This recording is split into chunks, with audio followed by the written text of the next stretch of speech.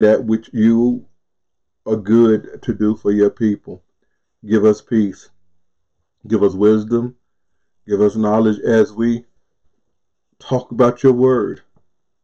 For you said in your word that those that spoke of you often, you wrote a book of remembrance for them. So we want to talk about you, bring glory to your name, honor to your name. And I just ask you to help Ann and I as we have this round table and those that join us, that it'll be to your glory, to your praise. Amen. Amen. And even so, amen. And tonight I had put on a, I made a little blurb or a one minute video, and then I made a blurb as well that said we were going to talk and we were going to do a mock talking a conversation with the Lord. I'll call him Jesus. I'm going to call him Yeshua because that's his name. But I know that if he were around me all of the time, I would be calling him Master. I'd be calling him Lord. I'd be calling him King. Uh, he he probably have to give me permission to start calling him by his name, uh, just like I call my daddy. I call him Daddy. But when I talk to somebody, I say, "Well, Billy don't like that." Or same thing with my mom. When I don't call her Faye, that's her name. Call her mom. But if I'm telling somebody something, I said, Faye Merritt, you just didn't do something, not say thank you, or you didn't go in and not clean up your room and put your stuff up under the bed. So there's a certain amount of respect that I've been taught.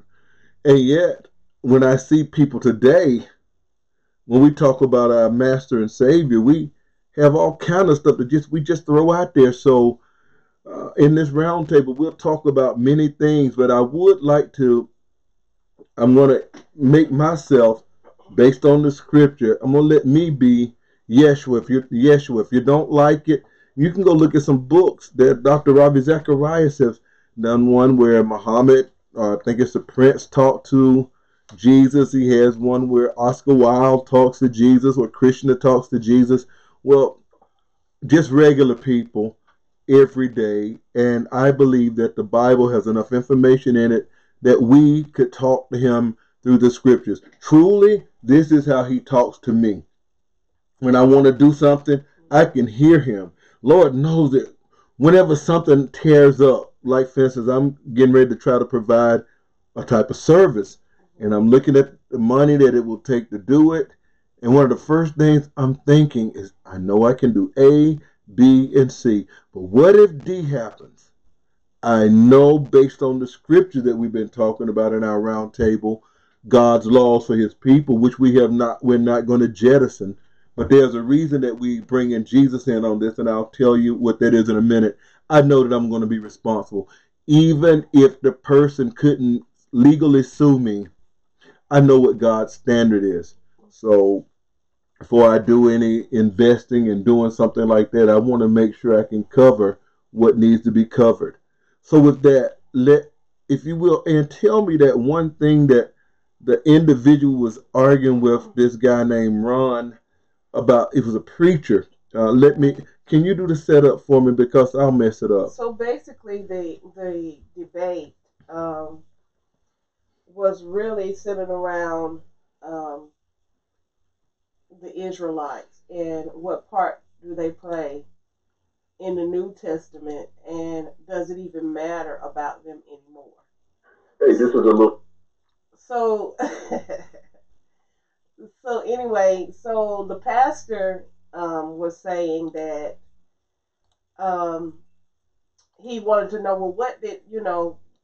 What did Jesus say about you know about Israel? What what you know he? Hey, this is a little this short is, message um, to say that I'm, I'm something is messing up, and what's going on is I did that. I'll okay. stop. I'll do some. It, it's it's a glitch.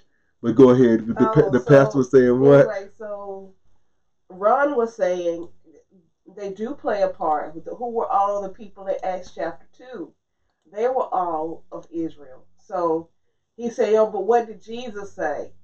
And he showed him what Jesus said about sending them out to um, the lost sheep, the lost sheep of the house of Israel. Okay.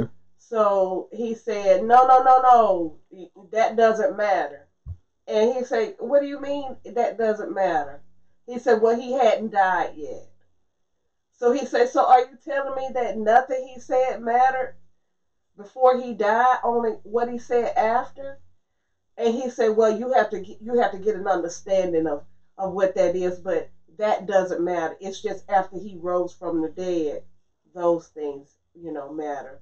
And, you know, you have to learn, you know, what what applies and what don't apply. But that particular scripture that he showed him, he said it didn't matter because he hadn't died.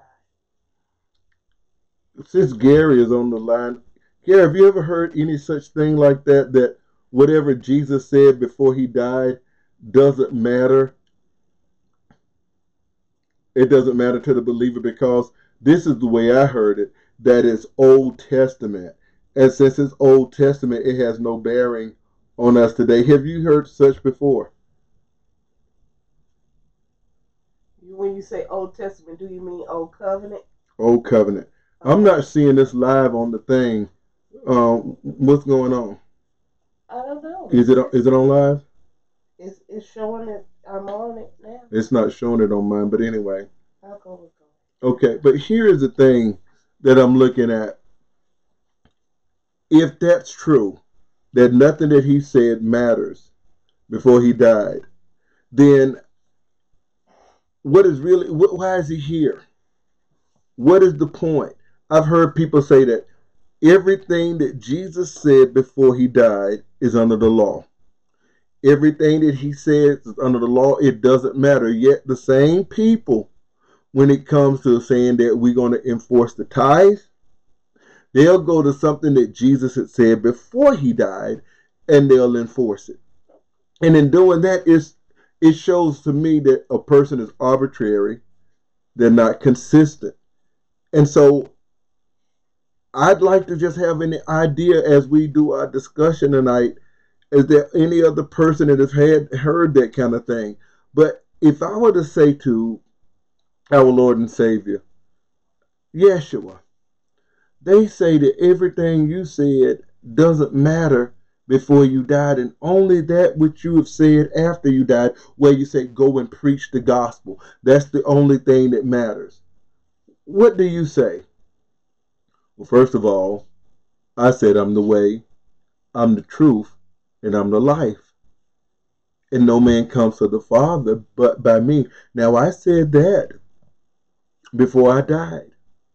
Are you really willing to tell me that I'm no longer the way, that I'm no longer the truth, that I'm no longer the life? Are you willing to tell me that now, that when I said before, that if a man keeps my commandments, he'll abide in my love? even as I've kept my Father's commandment and abide in his love? Are you willing to tell me that I have no right to say that anymore? Are you telling me that that's not bound anymore? Or is it what you're really saying is that you don't have to obey me anymore? Are you saying that you don't have to obey me as king? Are you really saying that you don't have to obey me as Lord?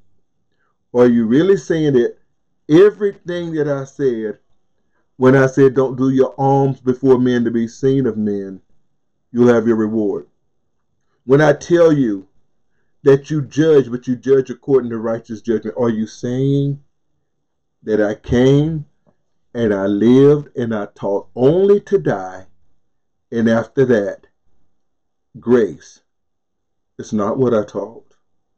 What I taught is that if you obey me and if you abide in me, then you'll be able to have my Father's love, just like I kept my Father's love by abiding in Him.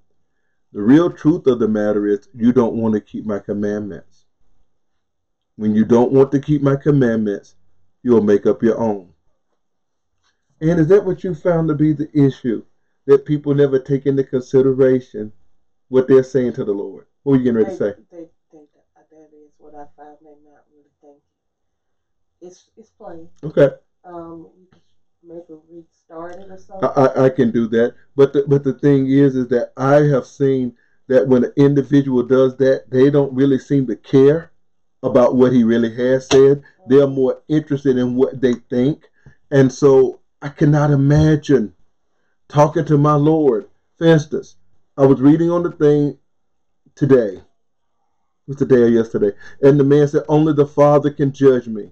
Mm-hmm. Have you ever heard anything like that before? Well, you know, I've, I've heard only God can judge me. Okay. So, and I'm assuming that that's what they mean. I mean, Tupac said it. I've heard, you know, people who, lawless people, usually, you, Gary say, do they need to call back in? I didn't know it disconnected. If it did, I, he would, he would, I, I don't see where it disconnected. I'll just go back and put it back in anyway, because it seems as if sometimes when we do stuff, as if there's a possibility that we're having issues with Facebook. I don't know if that's the case, but you know, you can blame stuff on them and it doesn't necessarily mean it's them. So I just called back in that way if anybody else decided they wanted to join in as well. Gary, are you able to hear us now? We can. Okay, did we lose you? Yes, I mean we didn't hear anything. Mama and I was talking.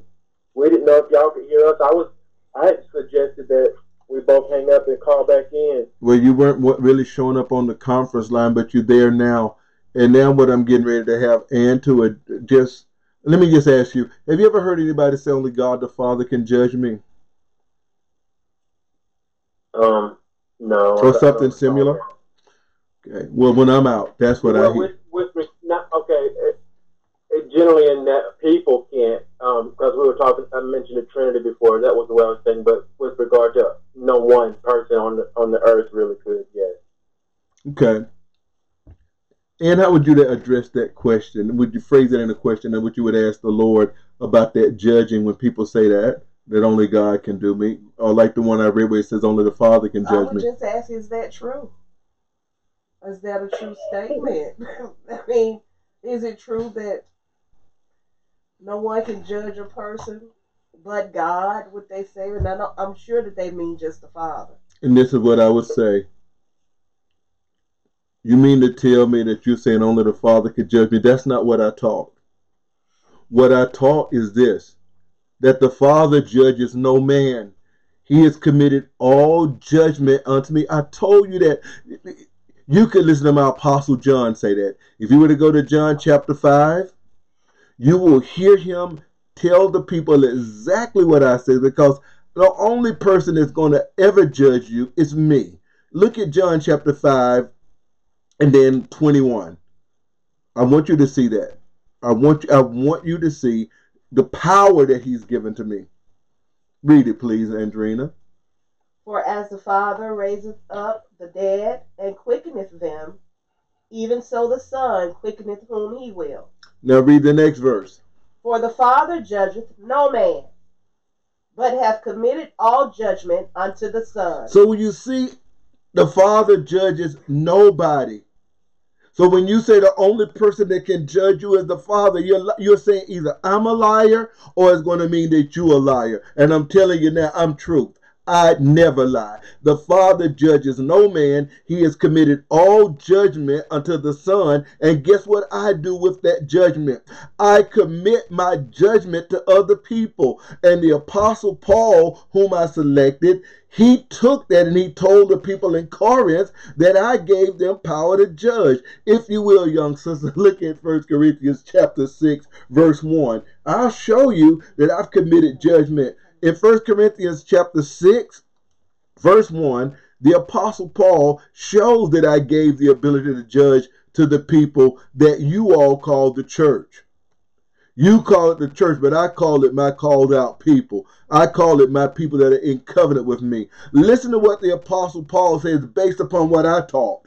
Dare any of you having matter against another go to law before the unjust and not before the saints? Do you not know that the saints shall judge the world? The world, the word, the word there is cosmos. Can he not be any clearer? And if the world be judged by you, are you not worthy to judge the smallest matters? But you have people walking around saying, only my father can judge you. I'm the judge. Not only did I commit judgment to my people, I commit judgment to those that are my called out. And you all don't take advantage of that. What do you mean? When what do I mean when I say you all don't take advantage of that? Go to in your Bibles. The Bible that you all have, go to Matthew chapter 18. I'm going to show you that I gave you power to judge. I'm going to show you that it's not just the Father. Go look at your Bibles in what is called Matthew chapter 18, verse 15. I'm going to let you hear what I said. Not only am I going to let you hear what I said, I'm going to tell you that those of you that think that my words mean nothing until I died and was raised again, you're going to come into a great awakening one day. Mm. And I'm going to say that part from me, I never knew you. You work iniquity and lawlessness. Mm. Now look at the 15th verse there. It says, Moreover, if your brother trespass against you, go and tell him his fault between thee and him alone. If he shall hear thee, you have gained your brother. Did you hear what I taught? He mm. recorded it correctly. But then I told the people, I told my apostles, if he will not hear thee, then take with thee one or two more, that in the mouth of two or three witnesses every word may be established. But you may not understand that. You may not understand that we're talking about judging because many of you, you don't read the scriptures that testify of me. See, all those scriptures testify of me. If you don't understand that, you can look in your Bibles, John chapter 5, verse 39. I told them, search the scriptures, for in them you think you have eternal life, but they or they that testify of me, but you won't come to me. But if you go back and look in the scriptures, the one that I gave Moses, when I told them how to judge, when I set up judging for the people, if you look at that 19th chapter of that book that you all call Deuteronomy, look at the 15th verse. It's going to show you something about court.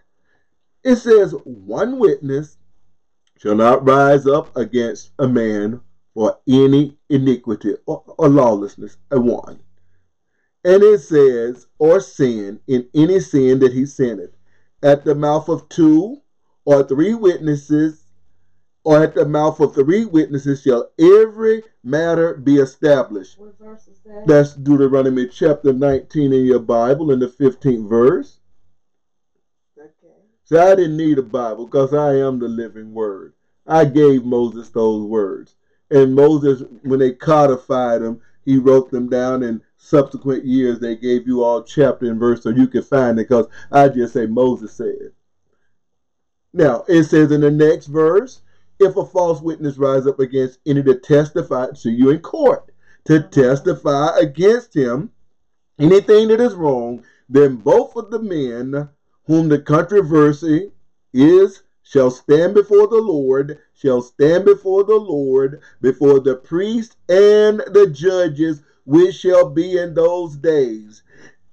Listen, then or and the judge shall make diligent inquisition. Behold, if the witness be a false witness, and have testified falsely against his brother, then you shall do unto him as he is thought to have done unto his brother. So shall you put evil away from among you. Now, my question, because I'm good at questions as well. How is it then Moses can judge? Moses can set 70 men and give them the ability to judge. Moses can even give you the instruction of how to judge with two or three witnesses, and yet I can't. You're going to say only the Father can. That, that wasn't even back before Moses came. Moses came under what you all will eventually say is the Aaronic law. But in actuality, Moses got my law before Aaron ever got his uh, uh, position. Aaron got his position in what you all call Exodus 28. But it's called the Aaronic law. It was never to be the total of, of, the law. It was always to train you. But the law was really going to come through me when I came on earth. Your prophet Joseph, not Joseph, but Jacob said it. The scepter shall not depart from Judah, nor a lawgiver till Shiloh come. So to get back to the place. Moses judged, the 70 elders judged, I judge, and if you go back, I'm gonna have to mute somebody. And then we go back to what we would call your New Testament in Matthew chapter 18, and it says, But if he will not hear thee, I'm in Matthew 18 and 16, if he will not hear thee, take with thee one or two, that in the mouth of every witness, let me do this. I have to go back. I have to move from being Jesus to go and do the mute thing.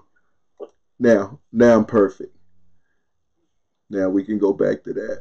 Because what happens is some phones don't mute well.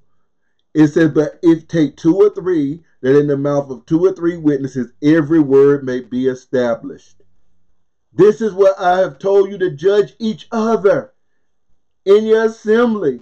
And some people won't stand for that. They will leave an assembly. If you have a judgment, they will leave. They will say, You can't judge. Only God can judge me. This is his judgment. This is his judgment. Listen, my daughter, do you remember when the flood was over? I gave them in Genesis chapter 9, verse 6 that if a man kills a man, or if an animal kills a man, by man's brother shall he be put to death, for he is in the image of God. I set up judgment among people. But it's always going to be by my word. And since the Father judges no man and has committed all judgment to the Son, the Son is giving it to his people that follow him. And in verse 18 of 18, it says, Verily I say unto you, whatsoever you bind on earth shall be bound on heaven, and whatsoever be loosed on earth shall be loosed in heaven.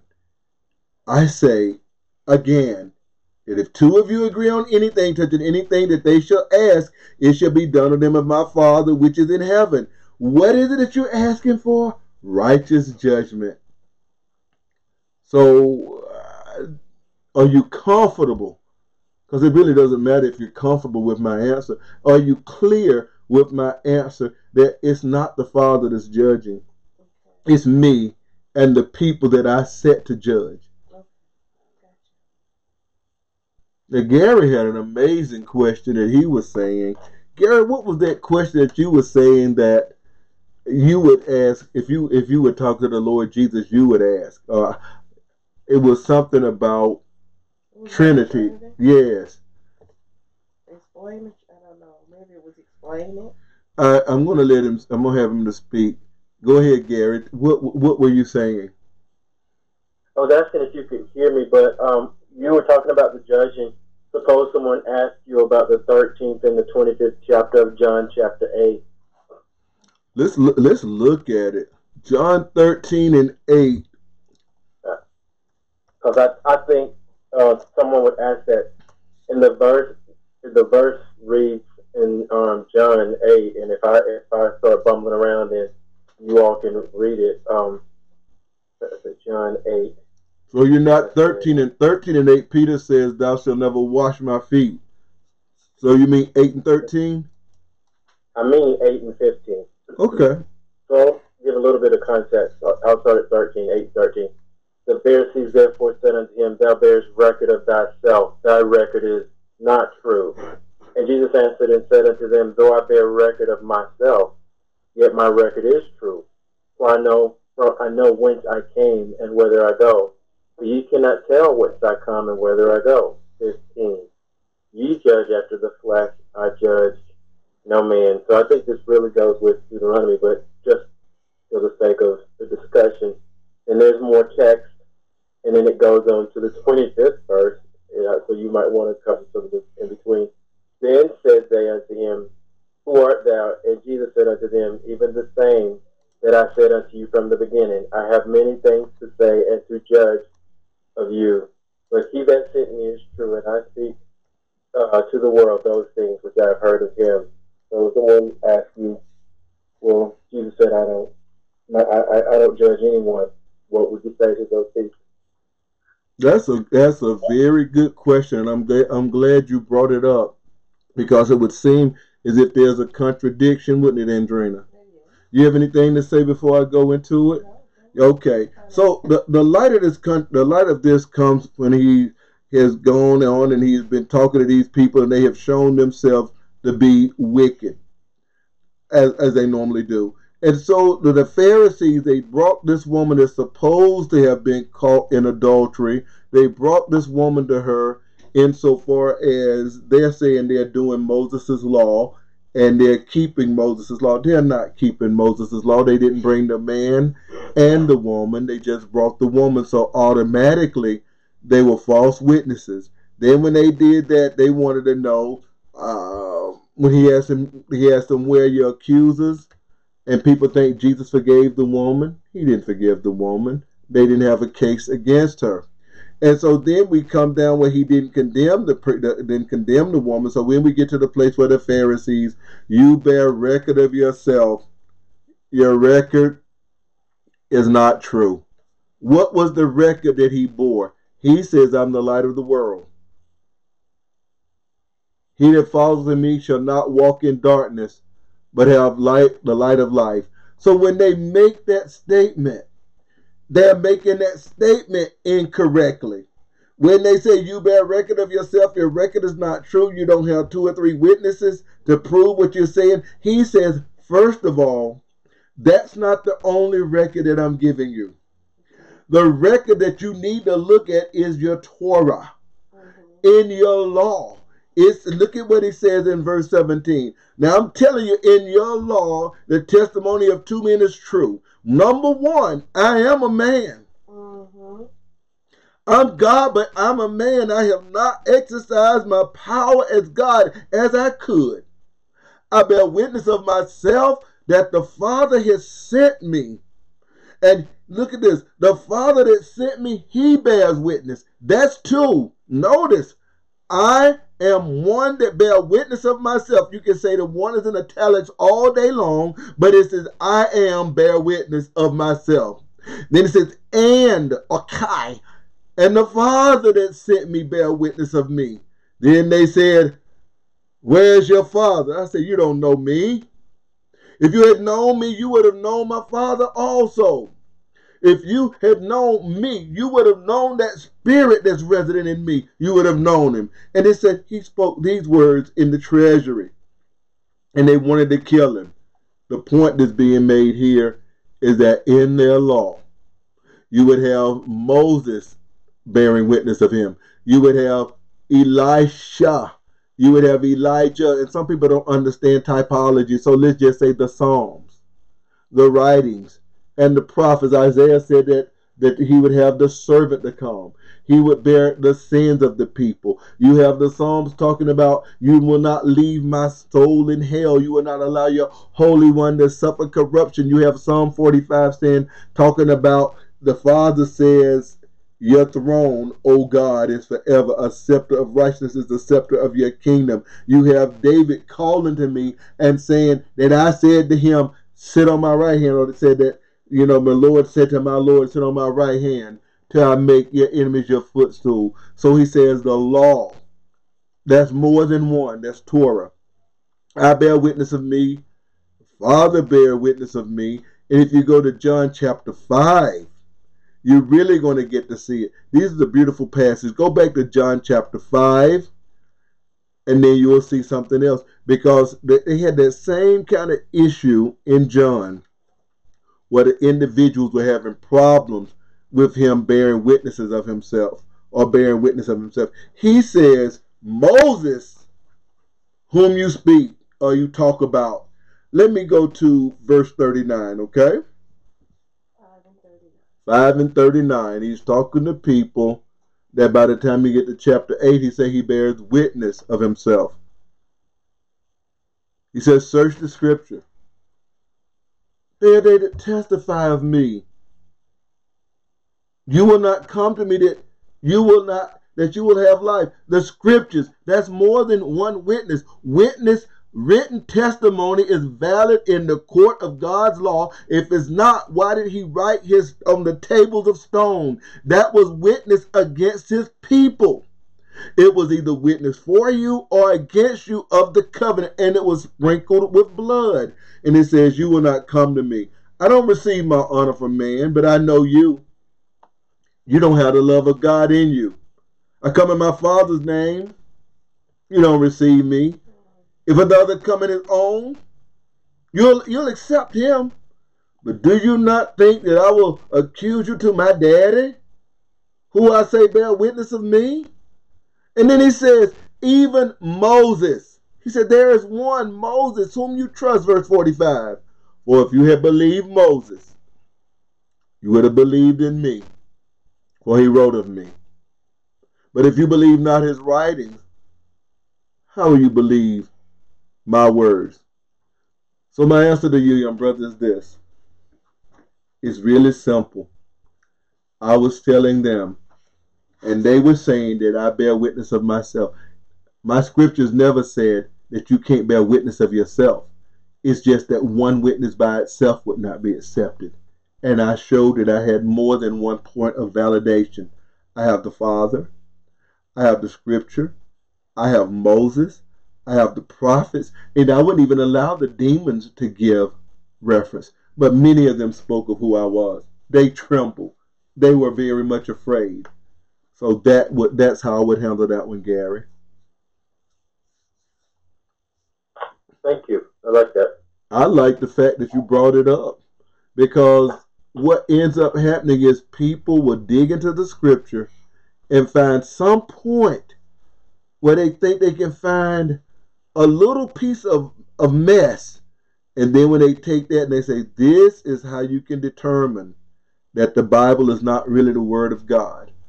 Now, you were asking something on the Trinity earlier that, you, and I'd, I'd like you to phrase it in your own word, not not mine. And We don't have to use the word Trinity. We can talk about the triunity of of the Messiah. But go ahead. So the question is, um, speaking to Christ, how will you how would you explain yourself to to to the masses, your relationship to to the Father as being a part of the triune uh, being or essence of God? How how will you explain that? Well, the way that I explained it before, it was really it was really something that they should have taken into heed uh, in heed, but they didn't. And one time they tried to kill me for it, but this is what I told them.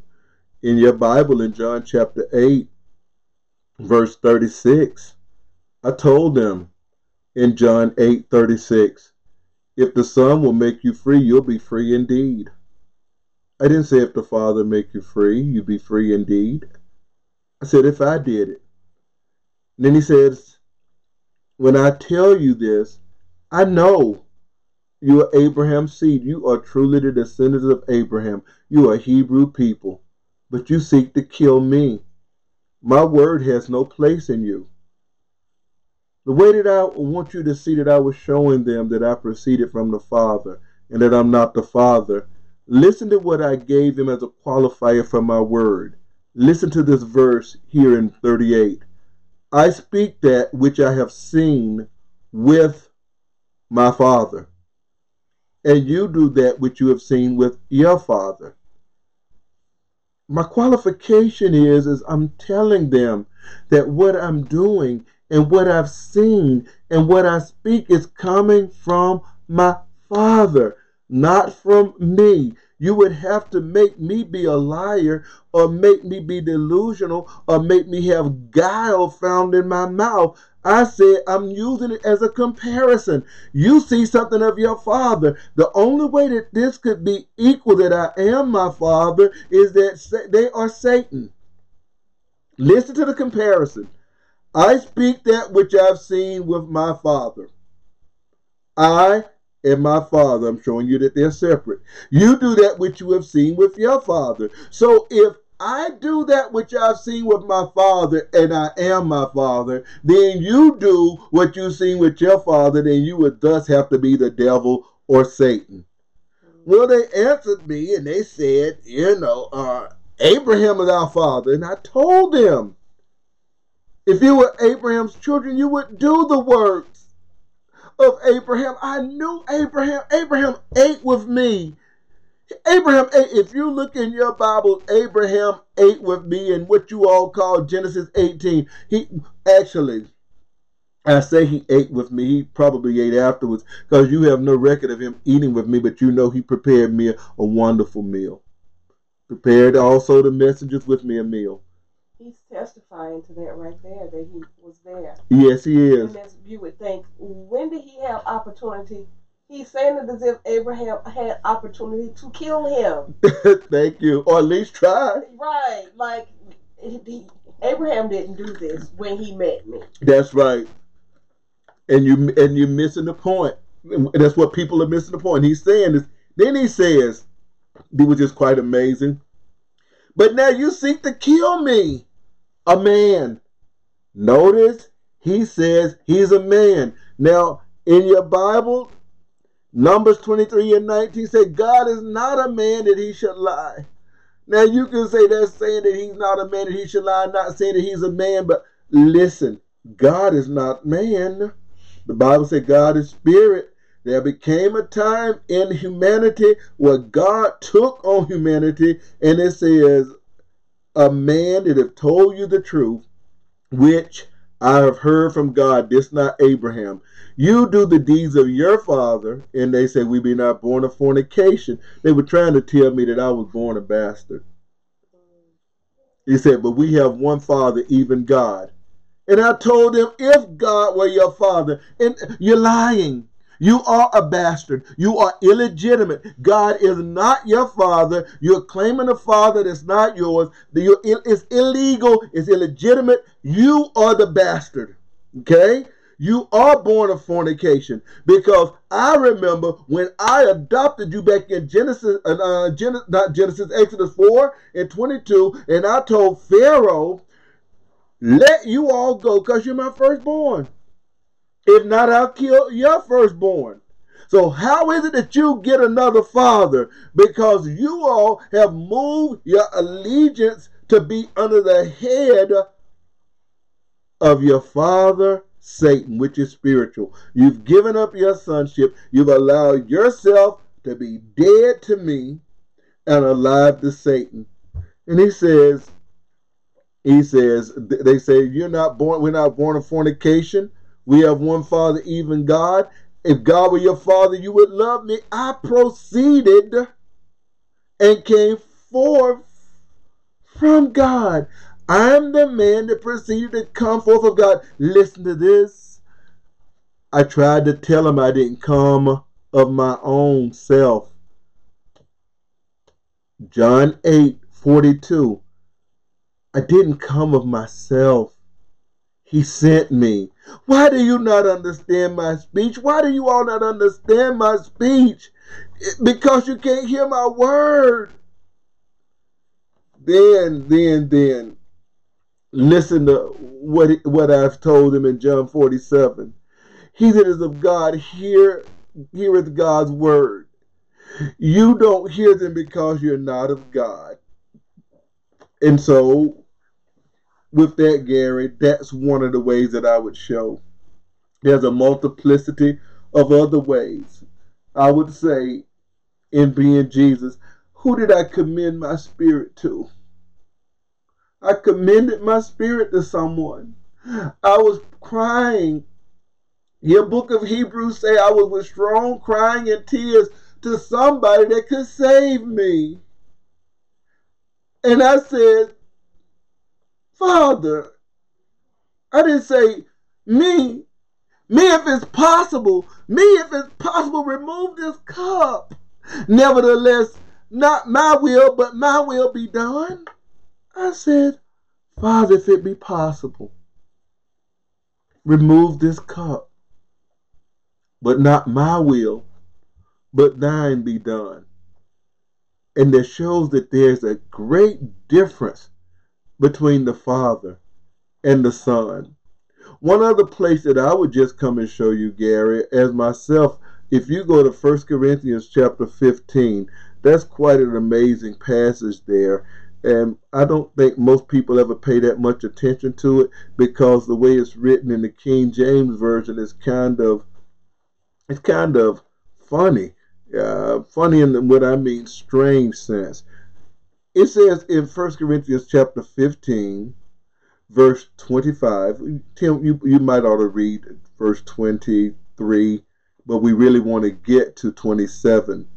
In verse 23, Paul says, To every man he comes to his own order. And if you want to know the context of that, he's saying that Christ is the first fruits in verse 20 of them that slept. That's how we know what kind of body we're going to have after we are raised from the dead because of the type of body that Christ had. And it says, For since by man came death, by man came the resurrection of the dead. Or as in Adam all die, so in Christ all will be made alive. The comparison is being made of what Adam is to the world and what the Christ is to the world. And so it says, every man after his own order, Christ in the first fruit will be in that order, afterwards they that Christ in his coming. Then cometh the end, when he shall have delivered up the kingdom. Notice, then cometh the end when he, talking about Christ, will have delivered up the kingdom to God, even the Father. When he will have delivered, that's what we got to look at. He's going to deliver. Like I got this book, he delivered the kingdom to God the Father. And when he had put down all rule and authority and power, for he must reign, Christ must reign, till he has put all enemies under his feet. The last enemy that shall be destroyed is death. Now listen to verse 27 closely. For he has put all things under his feet. When he has said, All things are put under him, it is manifested that he is accepted. He accepted. That means not included. He is accepted, which did put all things under him. God the Father is accepted. God is not under the Son. And so it says, and then, and when all things shall be uh, subdued unto him, then shall the Son also himself be subject unto him that put all things under him, that God may be all in all. The point being made is that Christ is going to rule, and his rulership will eventually have an end. He's going to deliver everything in the kingdom back to the Father. Garry, does that help a little bit at all? Yes, That's, that's, very good. Um, I, I, like it when you when you show the interaction of being subservient to to um, the Father. So yeah, that's that's good. Is there is there anything is there anything else you'd like to come out with? Uh, as, uh, I think you could speak perhaps to the uh, to the side of the Holy Spirit and since we're, since we're talking about the uh, the Trinity and that that relationship, um, as is often put together, some people believe that the scriptures doesn't it at all, while others do. So, um, what would you say with regard to the Holy Spirit in relationship to, to the Messiah? That that's. A, I'm glad that you brought that up because I I thought about it and I just didn't say anything. And then after you brought it up, I said, I, I really do need to deal with it. Let me give you this last part that I did, uh, that I mentioned earlier. I want to give that address of that. If you look at Hebrews 5 and 7, this is the address of where I was talking about before, where it says, um, if I look at 6, let's look at 5 because I like I like 5 because 5 shows that he's begotten, and this is the Father talking. Uh, listen to what it says in verse 5, Hebrews 5 and 5. So Christ glorified not himself to be made a high priest. He did not make himself a high priest. If Christ did not make himself a high priest, then he can never be high priest. Understand that if what they're saying is true, if Christ is God the Father, he could never be a high priest if he's God the Father, he didn't make himself a high priest. Who did? Was that clear? Because I don't know if that's clear. That makes sense. I think there's nobody else that could do it. Huh? I say that makes sense. Okay, so he says, So Christ glorified not himself to be made a high priest, but he that said to him, Thou art my son. Today I have begotten thee. The one that begat him is the one that made him a high priest, is what this passage is saying. And it says, as he says in another place, Thou art a priest forever after the order of Melchizedek.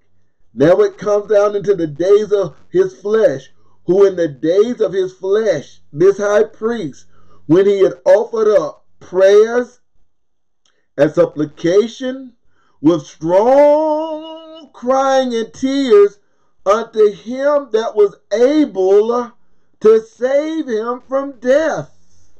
Who can save the Christ from death if he is God Almighty and the Father himself? Whoever that would be would need to be now called God and the Father if it's another person. And so he says he offered up strong crying and tears with supplication to him that was able to save him from death, in that he was heard, in that he feared. Listen to this though he were a son, yet learned the obedience through the things which he had suffered as high priest, as made high priest by the Father, so that he could offer himself a ransom and then it says, and being made perfect, he became the author of eternal salvation to those that obey him. If he doesn't have a father, he would have always been the author of eternal salvation. But because of the fact he took this role and took it through humanity, according to the second chapter of Hebrews, he was able to become the author of eternal salvation to those that obey him. Now we go back into the part where we're looking at the Trinity. And did you have anything to say, precious love? Let's look at Luke chapter 3. One of the amazing things is, is that the Bible is replete in giving information in more than one spot so that we can actually look at it. And when we look at it that way, we're able to I would say take information, look at things that look like they would be uh, contradictions, and say, no, they're not contradictions. It's just taking a different aspect so that we can see it. Let's go to the 21st verse of Luke. You see, now it says, when all the people were baptized, it came to pass also that Jesus was being baptized. So here comes to John and in some places, John said, I'm not worthy that I'm not worthy. I could probably go to Matthew. I ought to go there. I got the time. We go to Matthew 3. And in Matthew 3, we're going to have the same thing. So John is preaching in the wilderness and he's telling the people to get ready. And he's already told them, God is ready to destroy you all. The axe is already laid to the root of these Hebrews. It's laid to the root of the trees. It's already ready to tear you in sunder. And so in the 15th verse, so you have Matthew 3 and 15, you have Luke 3 and 20. Matthew 3, 15, Luke 3 and 20. In Matthew it says, in Jesus, well, I may well go 13 and 13. Jesus come to Galilee from Jordan. I'm in Matthew to be baptized of John, and John forbade him. John said, No, no, no, master, I can't, but I can't baptize you. Dude, you got to suffer it to be so for now. John, you got to do it. I'm the one that's being sent. I'm the one that has already had it let me known to you that I'm coming. You got to do it. And so suffer it. Allow it to be so for now. Allow this out of ordinary but yes, I am greater than you. Yes, I do have a greater position than you because of who I am, because of my role. But just allow it to be so for now. And and when he suffered me, when he allowed me, and I was baptized, and I, when I went out the water, the heavens opened, and then the Holy Spirit descending like a dove set on me. I didn't leave my body in an astral projection and go up to heaven and do like the karmic wheel or the Buddhist wheel or the reincarnational wheel and come back down and get on top of the shell of my body as a dove. The Spirit of God came and lit on me like a dove. And then from heaven, my Father spoke, This is my beloved Son, in whom I am well pleased. But Luke, after he gets a recording of what had happened, Luke will tell it this way. And it says all the people were baptized. It came to pass that Jesus being baptized and praying. More than likely like this, not like this, praying because they would raise their hands praying. And the Holy Ghost, or the Hagios Pneuma, or the, the Ruach Kadosh, the Holy Spirit, it descended in a bodily shape and it got on me. And the voice came from heaven and told me, I am his beloved son and he was well pleased with me. But that wasn't the end of it. Then the Spirit led me up into the wilderness. I didn't lead myself. The Father is not leading me. The Spirit leads me up the, into the wilderness to be tempted of the devil. Because I need you all to understand the same Spirit that's going to lead me and be with me and empower me to do his will is the same one you all going to have to depend on. And so I went through what is called my temptation. But my apostle John, he tells you how the Holy Spirit works with me. Now you'll have to go to John 3. Seems like a coincidence on all of these threes. It, it, it should make it easy for you to, to understand and be able to listen to it and pull the juice out of it. So if you look at John chapter 3 and look at verse number 30, John says, He must increase. I must decrease. He's better than me. I wasn't able to tie his shoe latchets, but he said, Do it for now. It's the righteous thing to do. I'm humbling myself. You know that that's not what I have to do, but I'm doing it to please the Father. I'm doing it to be a kinsman redeemer. I'm doing it to avenge my brother Adam and all those that came from him. I'm going to defeat the devil. I am the avenger of blood. Verse 31 says, He that cometh from above is above all. He that is from the earth is earthly, and speaketh of the earth. He that cometh from heaven is above all. John understood me. He understood that I'm from heaven. He understood that I'm above all. And he says, in what he has seen and heard, that he testify.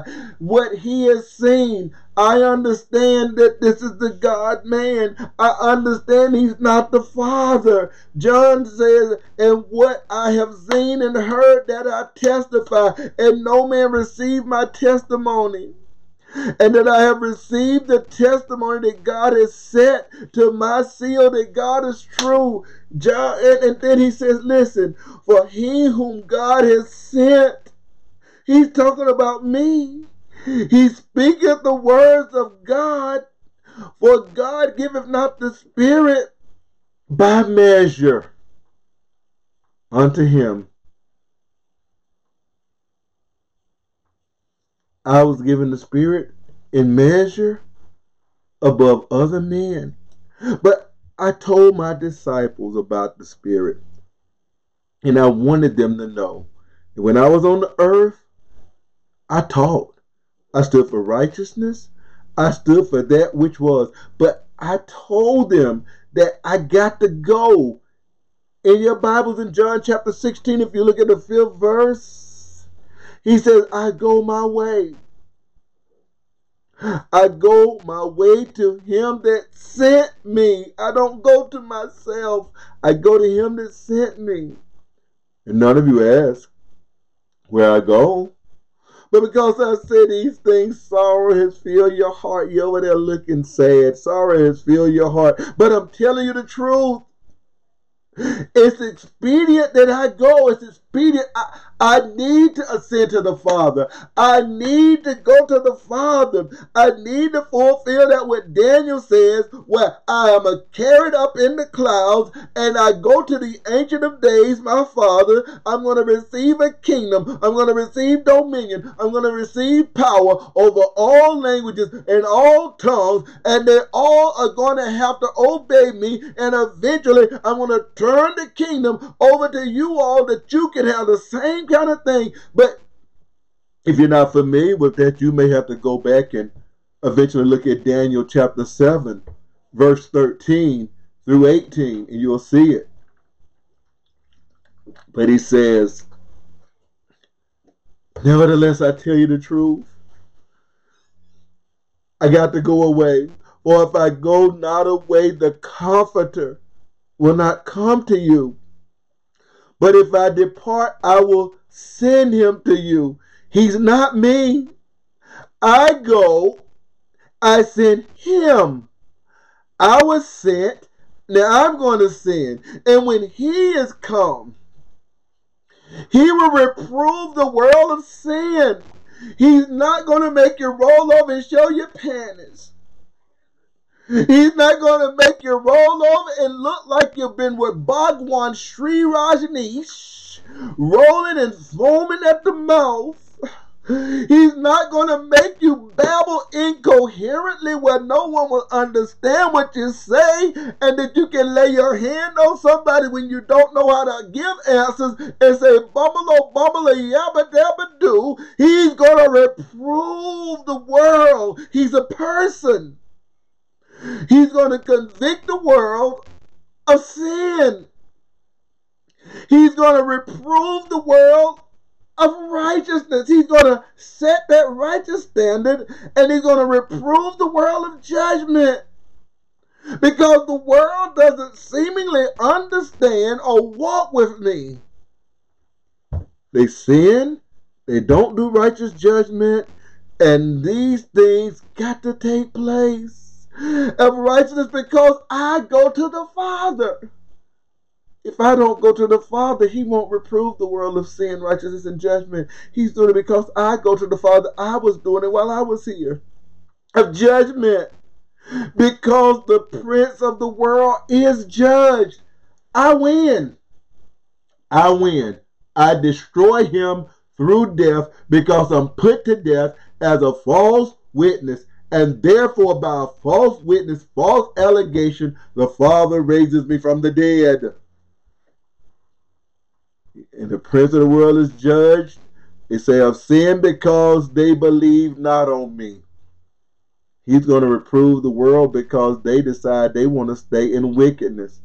Because he that believes not in your Bible, John 3 and 18, is condemned already because he has not believed. So the Holy Spirit is doing that. Now, but when the Spirit of truth has come, He will guide you into all truth.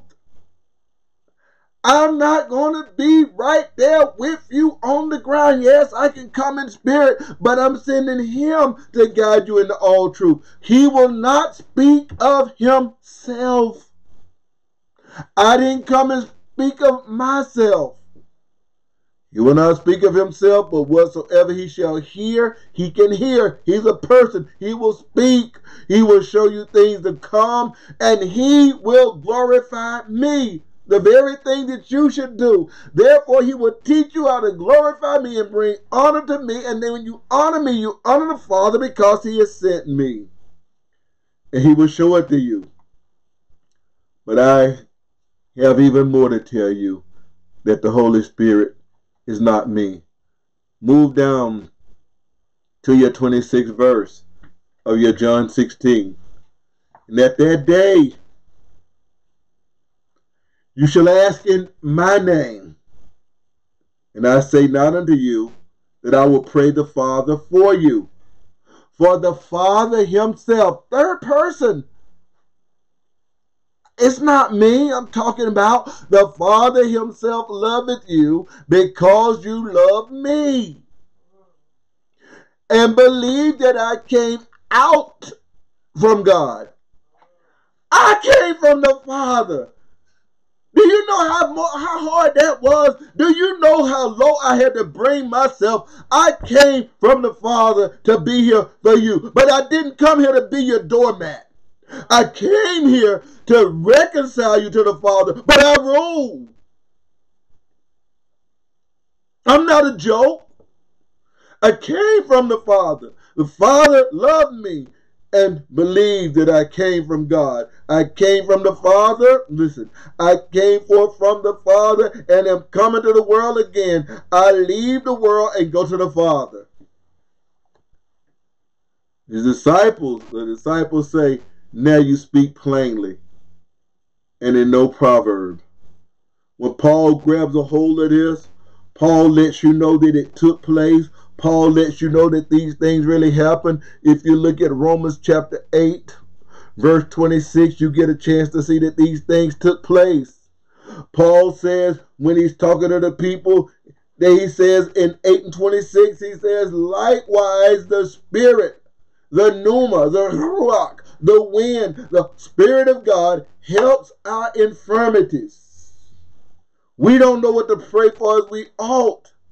But the Spirit, the Spirit Himself, I know it says itself, the context is Himself, the when He got what they call a neuter. So the Spirit itself make intercession for us with groanings which cannot be uttered. You cannot, this is not a prayer language. Tim, you said, listen, the Spirit itself, you are not the Spirit. It makes intercession for us with groanings which cannot, it cannot be uttered. You don't get to utter it. It's indescribable. And he that searches the heart, search, he knoweth the mind of the Spirit, because he makes intercession for the saints by the will of God. And then that same Spirit that was sent that to reprove the world of sin righteousness and judgment. When Ananias, they did sin, they were unrighteous, and the judgment fell on them when they lied in Acts chapter 5.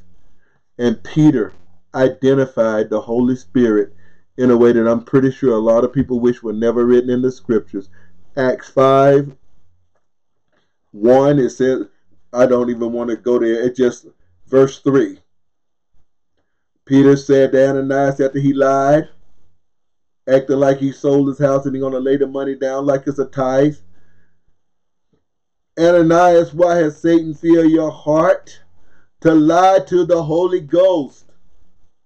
Why has Satan filled your heart to lie to the person, the Holy Ghost, the Holy Spirit, and to keep back part of the land while it remained, wasn't it yours, dude? It was yours, brother. It was yours, brother. You could have kept all the money, brother. You know, sometimes black folks say, bruh, it was yours.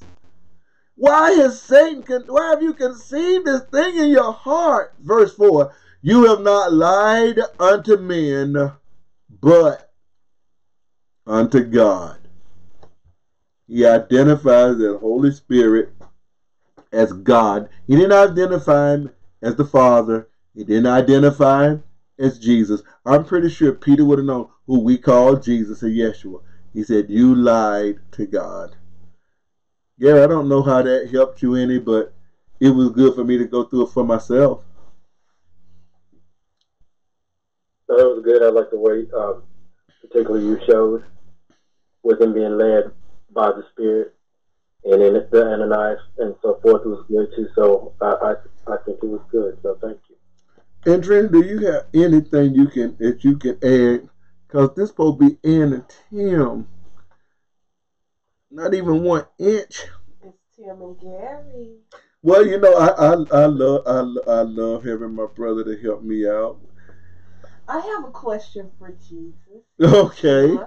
Okay. So I hear um people who are proponents of transgender and homosexuality say that you never said anything against either one of those things. So you're pretty much either you approve of it because you know you you love everybody and you love everything about them. You may you may not like their deeds, but you love them, or or that's that's one of the things. Or they'll say, well, you know, since he said nothing, then he's pretty neutral on the subject of homosexuality and transgender. So,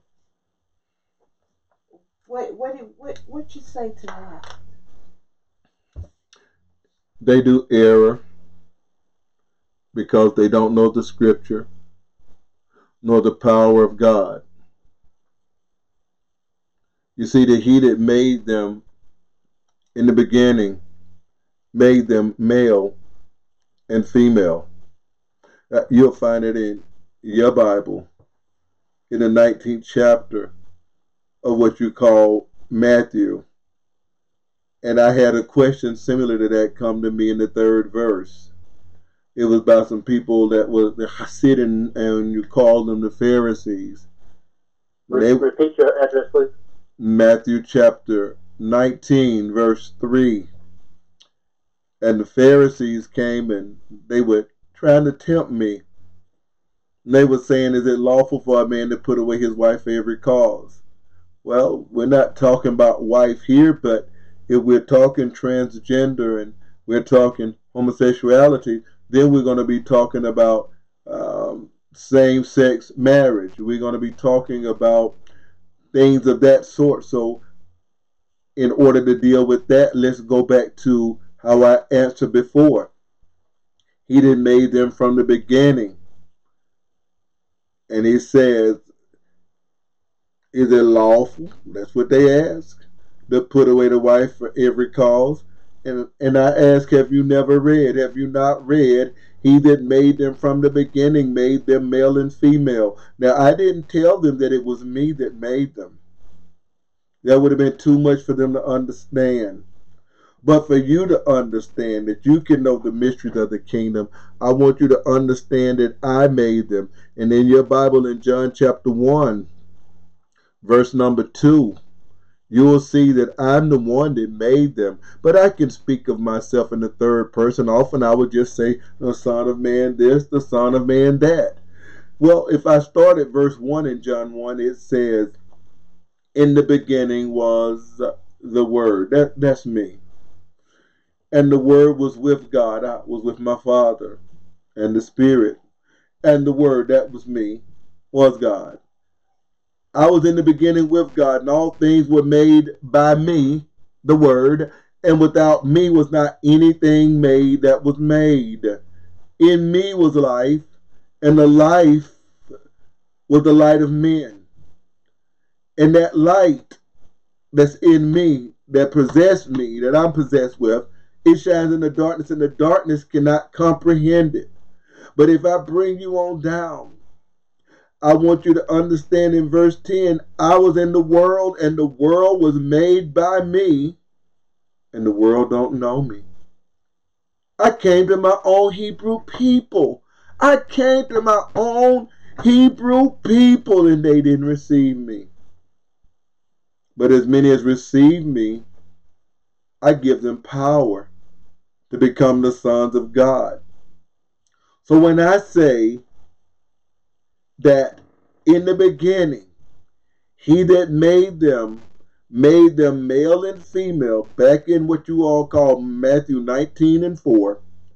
And it says, For this cause he made them male and female. He made them male and female. What I'm trying to tell you is that when I made them, I gave them distinctions. I gave them distinction for male. I gave them distinction for female. I call one Ish. I call one Isha. I call one, I gave one the seed. I gave one the egg. I call one fathers. I call one mothers. I know the difference between them. And therefore, when you start asking about transgender and homosexuality, I gave man what was upright I gave man what was true, but man sought out many inventions and innovations. Solomon wrote about that in, in Ecclesiastes 8 and 11. But when people say that I didn't say anything about homosexuality, it's because they don't understand that when I speak, that I spoke all through what they call the Old Testament. They think that I just now started to speak. But I need them to understand if they go to their Bible in Matthew chapter 11, I will show you that I knew about the way that people live. I knew the kind of wickedness that people did.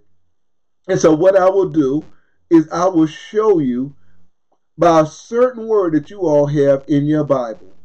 I'm going to show you what, what I'm going to use John the Baptist because a lot of times people they don't really understand John the Baptist, but I'm saying he's a great preacher. Now, listen to what goes on in verse 7 of Matthew chapter 11. I was talking to people and I asked them, uh, concerning John, why did you go out in the wilderness? What did you go out there to see? Did you go out there to see a, a reed flopping in the wind? What did, what did you go out there to see? I just want to know did you go out there to see a man clothed in soft raiment? Is that what you went out there to see? Did you really go out there to see that? Well, one of the problems that you all have in your world is that you all have that language uh, that's called English. One of the problems with your English, it, it will do all kind of things that I that I never would have intended. But at least by you having been captured by the Greeks, their language did have some definiteness to it. We're talking about the older Greek, the classical Greek, the Koine Greek. And the word that is used there for soft is malakos. M A L A K O S. Talking about being soft to the touch. It's talking about soft garments. It's talking about being effeminate.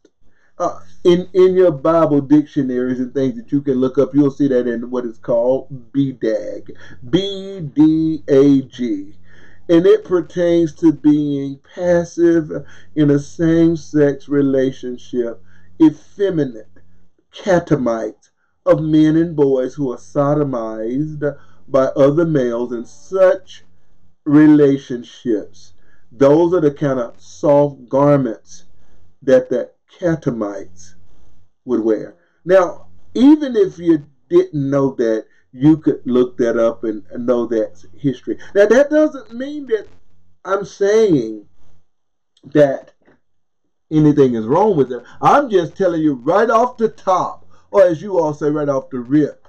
Mm. I'm not unaware of that. What they ought to say is that I've never said anything about uh, bestiality. Do I have to say that? So let me show you how I address all of that in what is a heading. Go to what your Bible called Matthew chapter 15. And I want you to see when I talk to some people that keep their own tradition. This is one of their traditions that they want to practice homosexuality like they did in Pompeii like they did in Egypt, like they did in Baal. Or even my people, the Hebrews, got into it so bad that they would have sodomites at my house mm. and say it worshiped me. And they would have prostitutes. So they one day the Pharisees had a problem with my disciples not washing their hands the way that they wash their hands and all of that, and they got on my on my disciples and they wanted to know why y'all don't wash y'all hands the way according to the tradition. And I went off on them. I went all the way off. And this is what I said. Then why do you transgress the commandment of God by your tradition? You know what God has said. Honor your father and mother. That means they can get in your pocket and get some of your time. Honor your father and mother. And he that curses father and mother, let him die to death. But you say it's a gift I got to give it to God, and whatever you give me profited, and you don't honor your father and mother, and you're free because you say so. So by your tradition, you make none effect the commandment of God. You're a hypocrite, and Isaiah said it. You draw nigh to God with your mouth, but your heart is way over there in Texas, and your body is over there in Florida.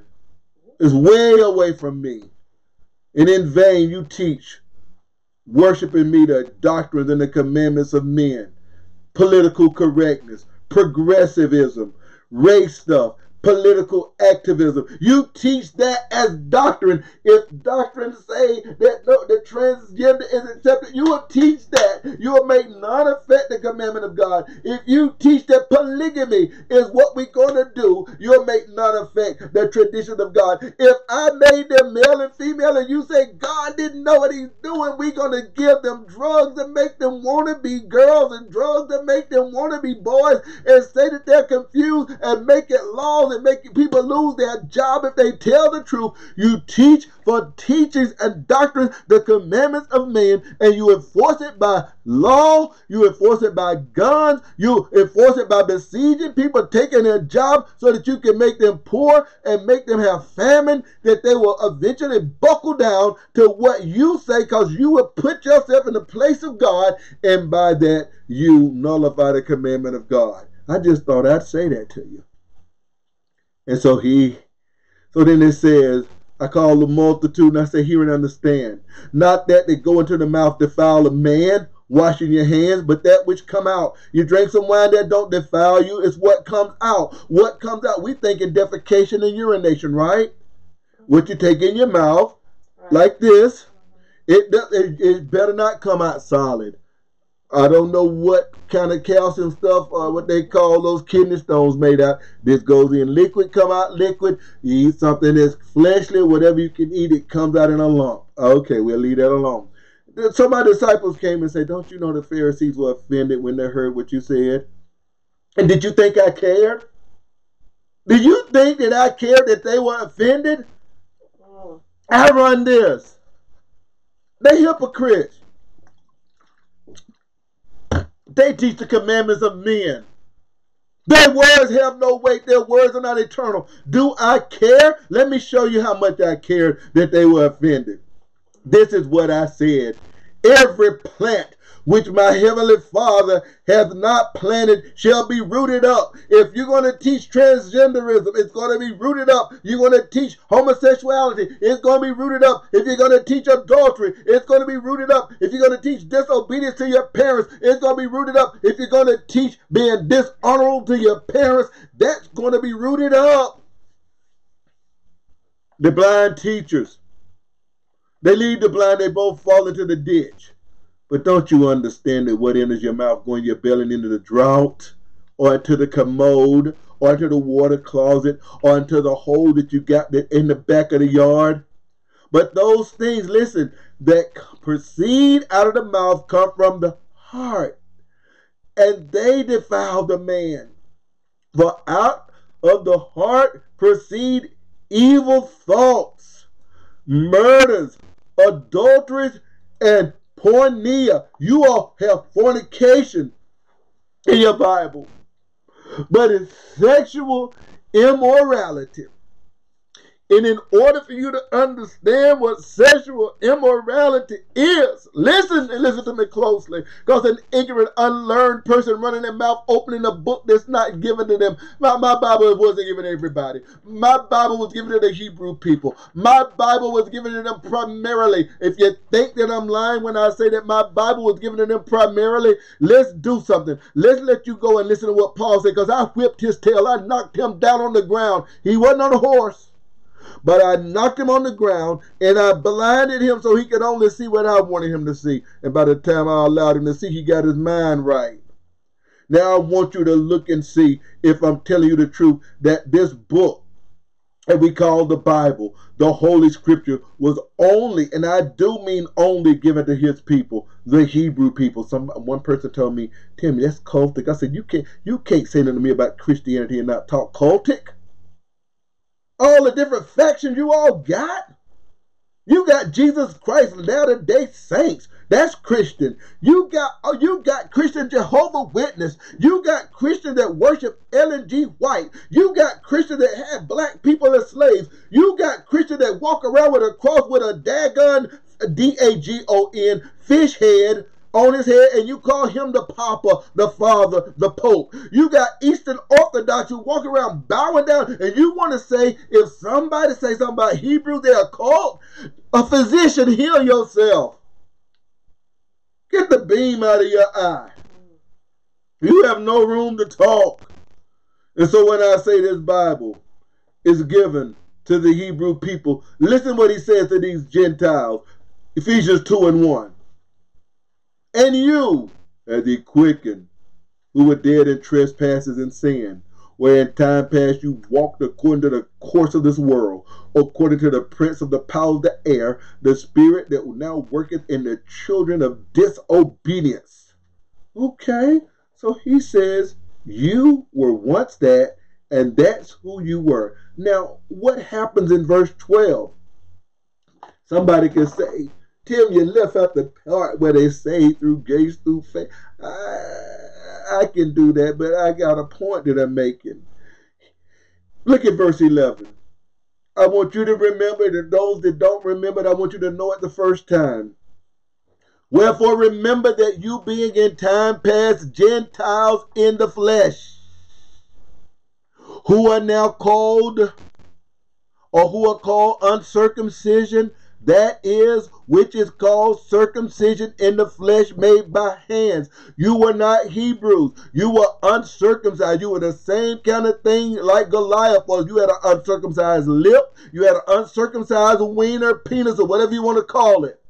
Verse 12, that at that time you were without Christ. Listen to verse 12. Listen. Being aliens. Aliens from the commonwealth coming from the citizenry of Israel. And strangers, listen to me, unacquainted with the covenants of promise. And the Greek here says ho and pengelia. That means covenants of the promise. Because all of the covenants went back to the promise. You were strangers from the covenants of the promise. You had no hope and you were without God in the world. Talking about salvifically. But now in Christ, you who were sometimes afar off are made nigh by the blood of Christ, for he is our peace, who have broken down the middle wall of partition, have abolished in his flesh the enmity, even the law of commandments and ordinances to make of himself twain one new man and making peace and the commandments and the ordinances. They had commandments to stay away from you all. They had commandments of certain things that were regulations that were blotted out, but that which can remain was remain. We can go through that and if we discuss that later on in the roundtable. The point that I'm making here is when he's talking to Matthew, he's talking to Hebrew people. He's talking to Pharisees. They were Hebrews, the Hasidim. He's talking to the people that he came to. He came to his own. His own received them not. They knew this law and they weren't honoring their father and mother. The Gentile didn't have that law that was codified and written in the tables of stone. So therefore, when I say that in the 19th verse, that I'm saying out of the heart proceed evil thoughts, murders, adultery, and fornication, the words porneia or sexual immorality, they would know that that covers everything in Leviticus 15 and 16, where it talks about bestiality, where it talks about homosexuality, where it talks about adultery, where it talks about laying up with a maid, where it talks about all of these things, because this book was written to them. Notice, he didn't go back and say, go back and read where he says, honor father and mother. Because I know you know it. And you know that you have obfuscated and gone around and didn't do what was told, and you teach your commandments, yet you know the commandment of God. You made it of non effect. The Gentile didn't have it. And so what does he do? He comes in you got to taste it. Because a lot of times people don't understand the scripture or the power of God because they hadn't read enough, because they had other things that they wanted to do with their life. And so instead of doing God's word, they rather watch TV. And he says, out of the heart proceeds evil thoughts. That's where your coveting comes in. Your coveting, which will break a commandment, murder, commandment, adultery, commandment, fornication commandments when you start reading what adultery is and you start breaking down the things that you do you're stealing your false witnesses and your blasphemy taking god's name in vain these are the things that defile a man but to eat with unwashed hands defile not the man well but I don't believe that you still spoke against those things. All that stuff sound good, but I don't believe you. So, what is the word porneia? What does the word mean? Unlawful sexual intercourse, prostitution, unchastity. It goes on, it tells you any other type of sexual activity that's prohibited. It talks about even laying up with men and everything else that you do with your body sexually that you ought not to do.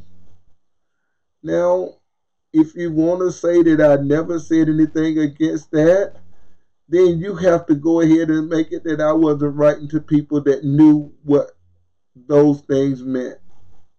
And in order for you to do that, you have to be very disingenuous. Now, I know there are a lot of people in this world that are disingenuous and they'll make it like I didn't say anything like that.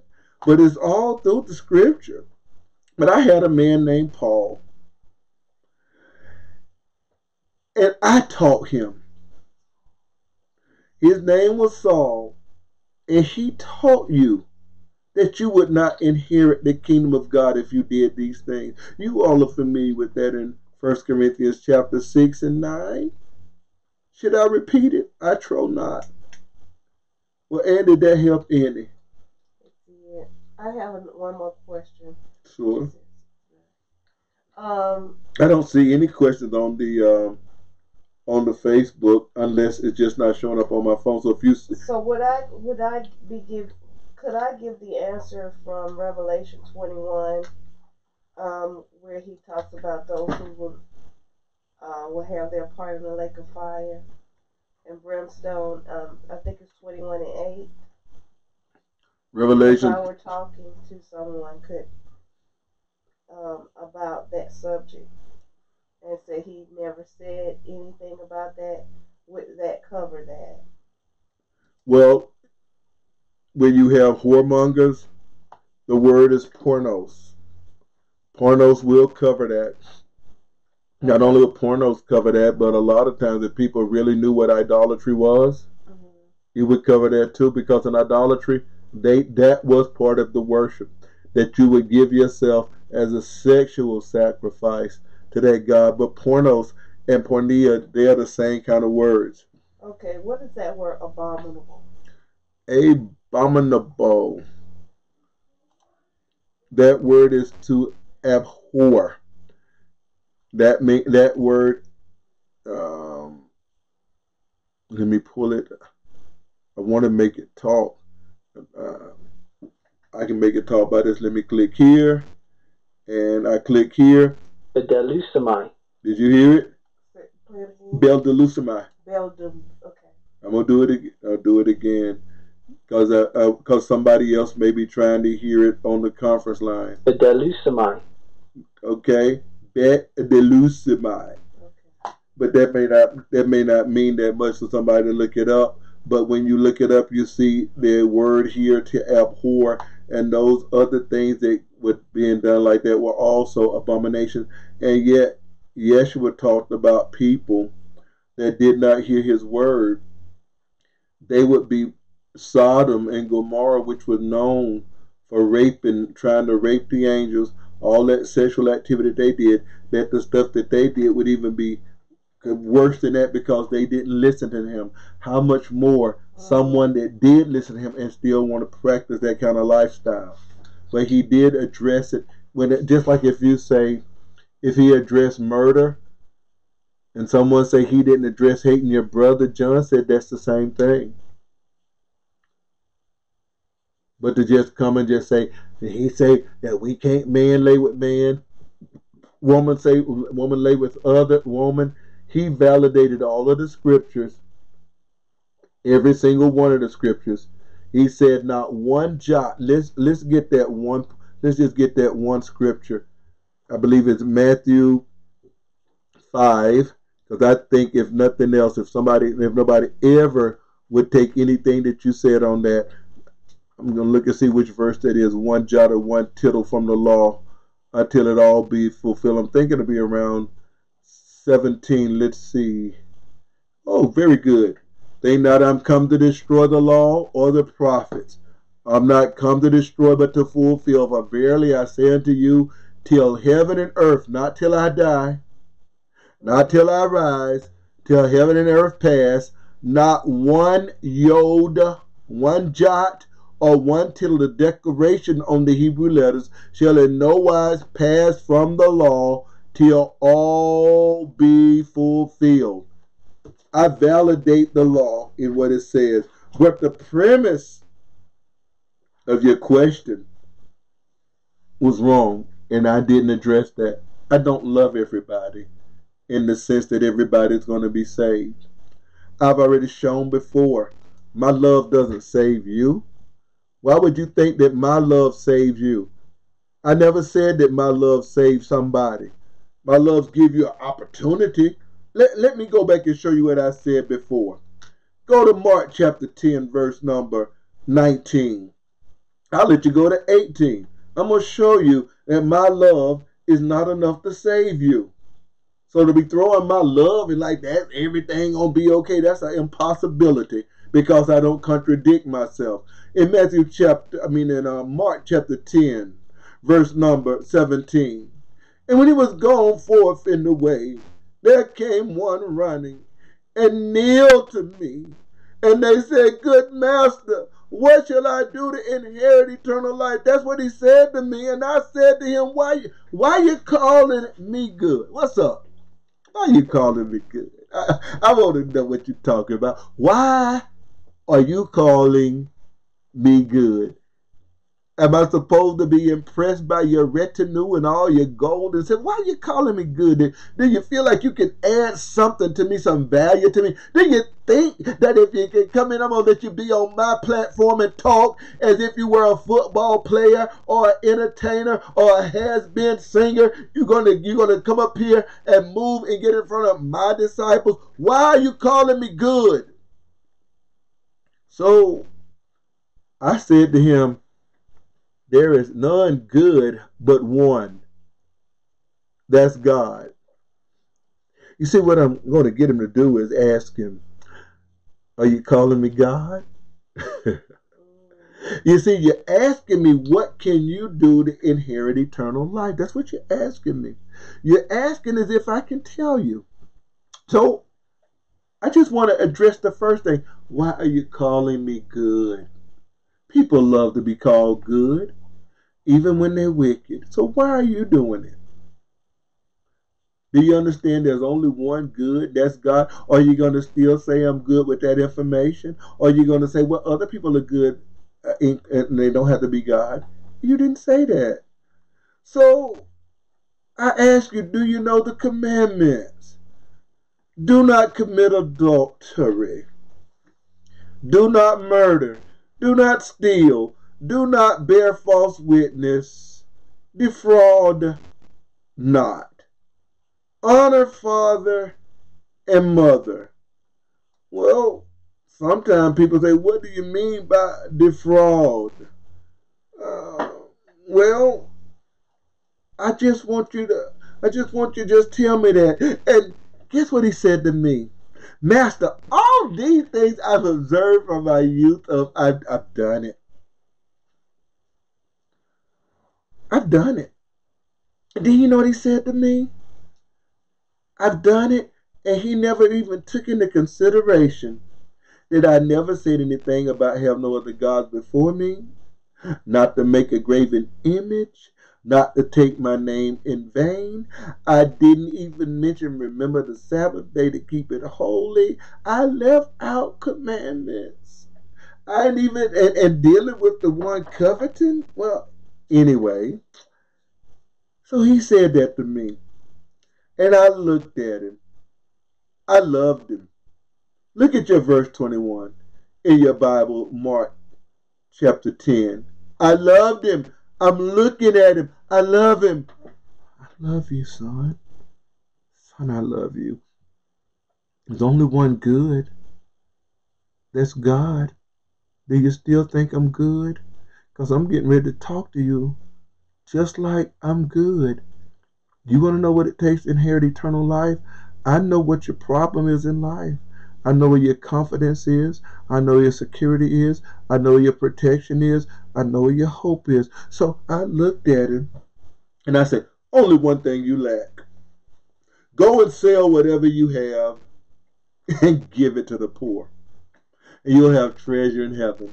Give up all of it. Give up all your security. Give up your status. Give up the very thing you thought I was going to be impressed with because I'm not impressed with your stuff. Give it up and you'll have treasure in heaven. I love you. I'm looking at you and I love you. I know what you're going to do. I love you. I love you. I love you. I love you. I love you. I love you. I love you. I love you. I love you. Well, in the Bible that you all have, told you that he was sad. He went away grieved. I told him to, to give up everything he had and to take up his cross, take up his cross and follow me. In other words, not a life of luxury no more, not a life of autonomy anymore. Take up your cross, be subjective to me, and follow me as an itinerant preacher. And the man, the man, when I said it to him, he was sad. He was sad that I said that, and he went away grieved. He had great possessions. He was sad. And I didn't beg him to come back. I didn't say, please, just, just give a tenth. I, if this is your best life ever, the, the covenant is the tithe. The covenant is the tithe. Sow a seed. Sow a seed anyway. I did not tell him any of that. It wasn't important to me. So I looked around to everyone that was there, all of my disciples, and I said, How hardly shall they which have riches enter into the kingdom of God. I said that. And my disciples looked at me and they were astonished at what I said.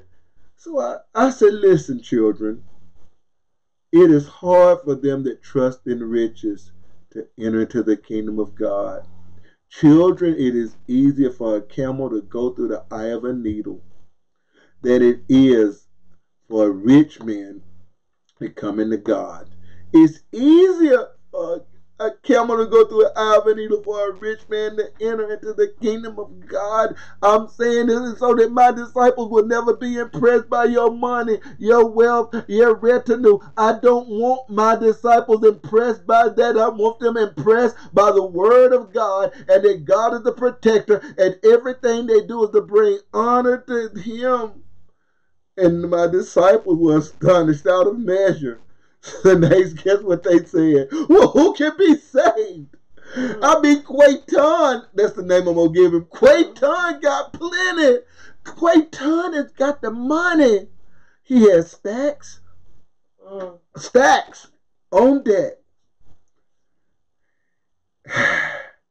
And I just looked around and I say, with men, it's impossible. But with God, all things are possible. It's possible if that person is willing to do what I told that young man to do. If he's willing, God can give that to somebody. Andrea, did that help a little taste? Thank you, precious. Garry, did that help a little taste? Yes, it did. I like the fact that you did include um, Paul because the, the um, scripture does, you know, when you look at that um, passage in Luke, and this may seem like I'm going way off. When the when the guy wanted release, he said they have Moses and the prophets. And then, you know, if you keep on reading the scripture, you see how Ephesians will talk about that, but link it up with those who have been under the uh, instruction of Christ. So I thought of Peter, Second Peter, I think it's two and six, where he's blasting um, people in history, and he does bring up Gomorrah. So um, I thought it was good. Well, thank you. I. It's just the fact that when we start looking at the scripture, start pulling this juice out, it's so many good things in there for us. Is there are there any is there anything else that we'd like to have in our in our round table tonight? I have, I have a clip I wanted you to hear. I don't. Please play it. I can't play it on my phone. Okay. Uh, what is it? Or where is it? It's in. It's on YouTube. Okay, let me go to YouTube. Give me just a second. I can pull it up, and we can hear that, that magnificent clip. Because I'm pretty sure Garry wants to hear it. He's such a wonderful fella. YouTube clip. Close that. Open this. I'm open. I'm there. Okay, so it's um it's True News. True News. It'll probably sound better on your phone. Okay. Do True News. Okay, so it's True News, and it says, Your father is the devil.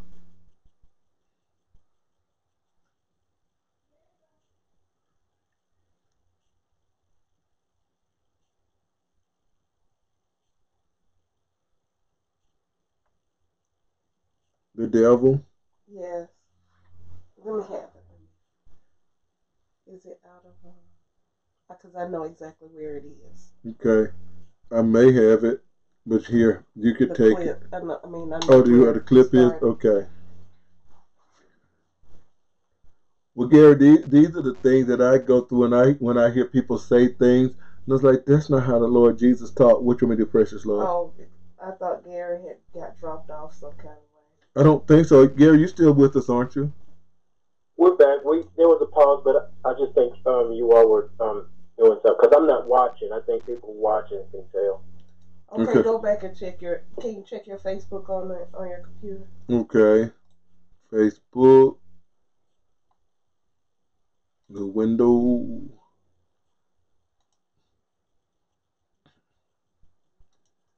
Okay, it says live. Any comments? I don't see any comments at all. I see one by Dree. It said, "Why do people say you have unconditional love?" So I'll I'll deal with I'll deal with that one after you play your clip.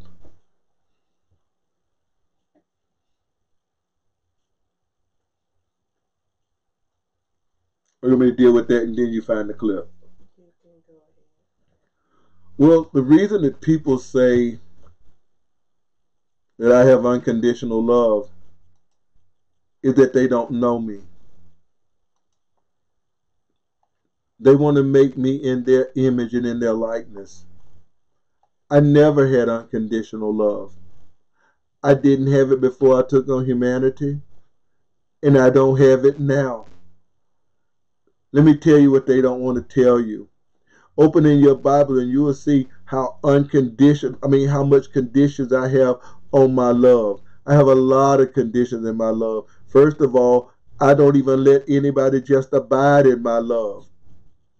I tell people right up front, it says in John 15, if you keep my commandments, you will abide in my love. It's conditional. You don't keep my commandments. You don't abide in my love. I'm through. I, I can jettison you out of the way. I don't have to listen to what people say. I don't have to listen to that theology. I don't have to listen to Calvinistic theology where it talks about irresistible grace. Because when they really read the Bible, you'll see that even the apostles say that you always resist the Holy Ghost. That's what Stephen say that the people resist. I don't have unconditional love. I say, if you keep my commandments, you will abide in my love, even as I have kept my Father's commandments and abide in his love. It is so conditional. Let's go back one. let's go back to your 14th chapter. Because people have the tendency to put words in my mouth that I didn't put in my own mouth. Go to your John chapter 14.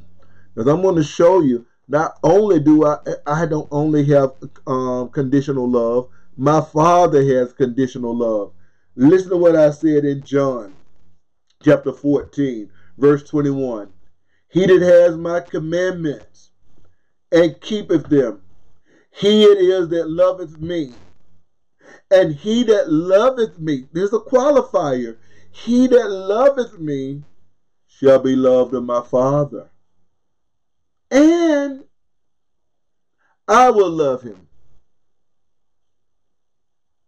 and will manifest myself to him. Well, Judas not the Iscariot. Then he asked me, Well, how you going to manifest? How you to manifest yourself to us and not the world? Well, I told him, If a man love me, he will keep my words. And my Father will love him, and we will come unto him and make our abode with him. Well, for some people, that's not enough. So, what I'll do is I'll show them. I, I show them everything is about me. You see, sometimes people think everything is about them, and they think that I'm going to suppose to be like what they do when they have what they call unconditional permissive love for their children. They don't understand who I am. The earth is mine and the fullness thereof, the world and all y'all that dwell therein. But I told them, I told them I'm the vine. I told them my father's the husbandman. I told them every branch in me that bears fruit in your book, John 15 and 2. Every branch that's in me that bears fruit or that don't bear fruit. I, I told him at that time, I, I talk about the one that bear fruit, I purge them, but the one that don't bear fruit, I take them away. No one is plucking them out of my hand. I take them away. And every branch that bear fruit, I work on them. I cut, I nip, I tuck, I purge. Because I wanted to bring forth more fruit. I want works. I want works. I want works. I demand works. Um, it's conditional. If you don't bear works, if you don't work for me, if you're not my servant, if you think you're just going to have faith in me, you're a damnable liar. And you're not going to be with me. You got to bear fruit. Or else I'm going to take you away. And I'm not taking you to heaven. So for those that's in me, that hear me, they're clean through the word which I've spoken. I told them to abide in me, as the branch cannot bear fruit of itself, except it abides in the vine. I say, you don't see none of those. You see those vines? They bearing fruit because they in the vine. It's the same way you. Unless you in me, you can't bear fruit. Understand this. I'm the vine. I am the vine. Make no doubt about it. It's not you, Israel, no more. You brought forth wild grapes. Isaiah told you that. I'm the vine. You are the branches. He that abides in me and I in him, he's going to bring forth much fruit. He's going to obey me. He's going to do my will. He's going to work. He's not going to all the time look around. I can't. Somebody tell you you can't be perfect in this legalistic. That government, do you hear me saying you got to work? Does my word not matter? Do you not care what my word said? I said, if you don't bear fruit, you're carried away. But you like your pastor, don't you? You like your bishop, don't you? You like the apostle, don't you? And you're defiled. Well, I say I'm the vine, you the branches. If you in me, you bring forth much fruit. Without me, you can do nothing. If a man abide not in me, he is cast forth as a branch. You're thrown away.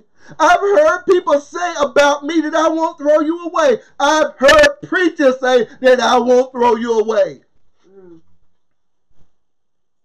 Do you know that's from hell to contradict me? Mm. Did they die for you? Mm. Did they live for you? Did they rise for you? Are they the only mediator between you and God? I will throw you away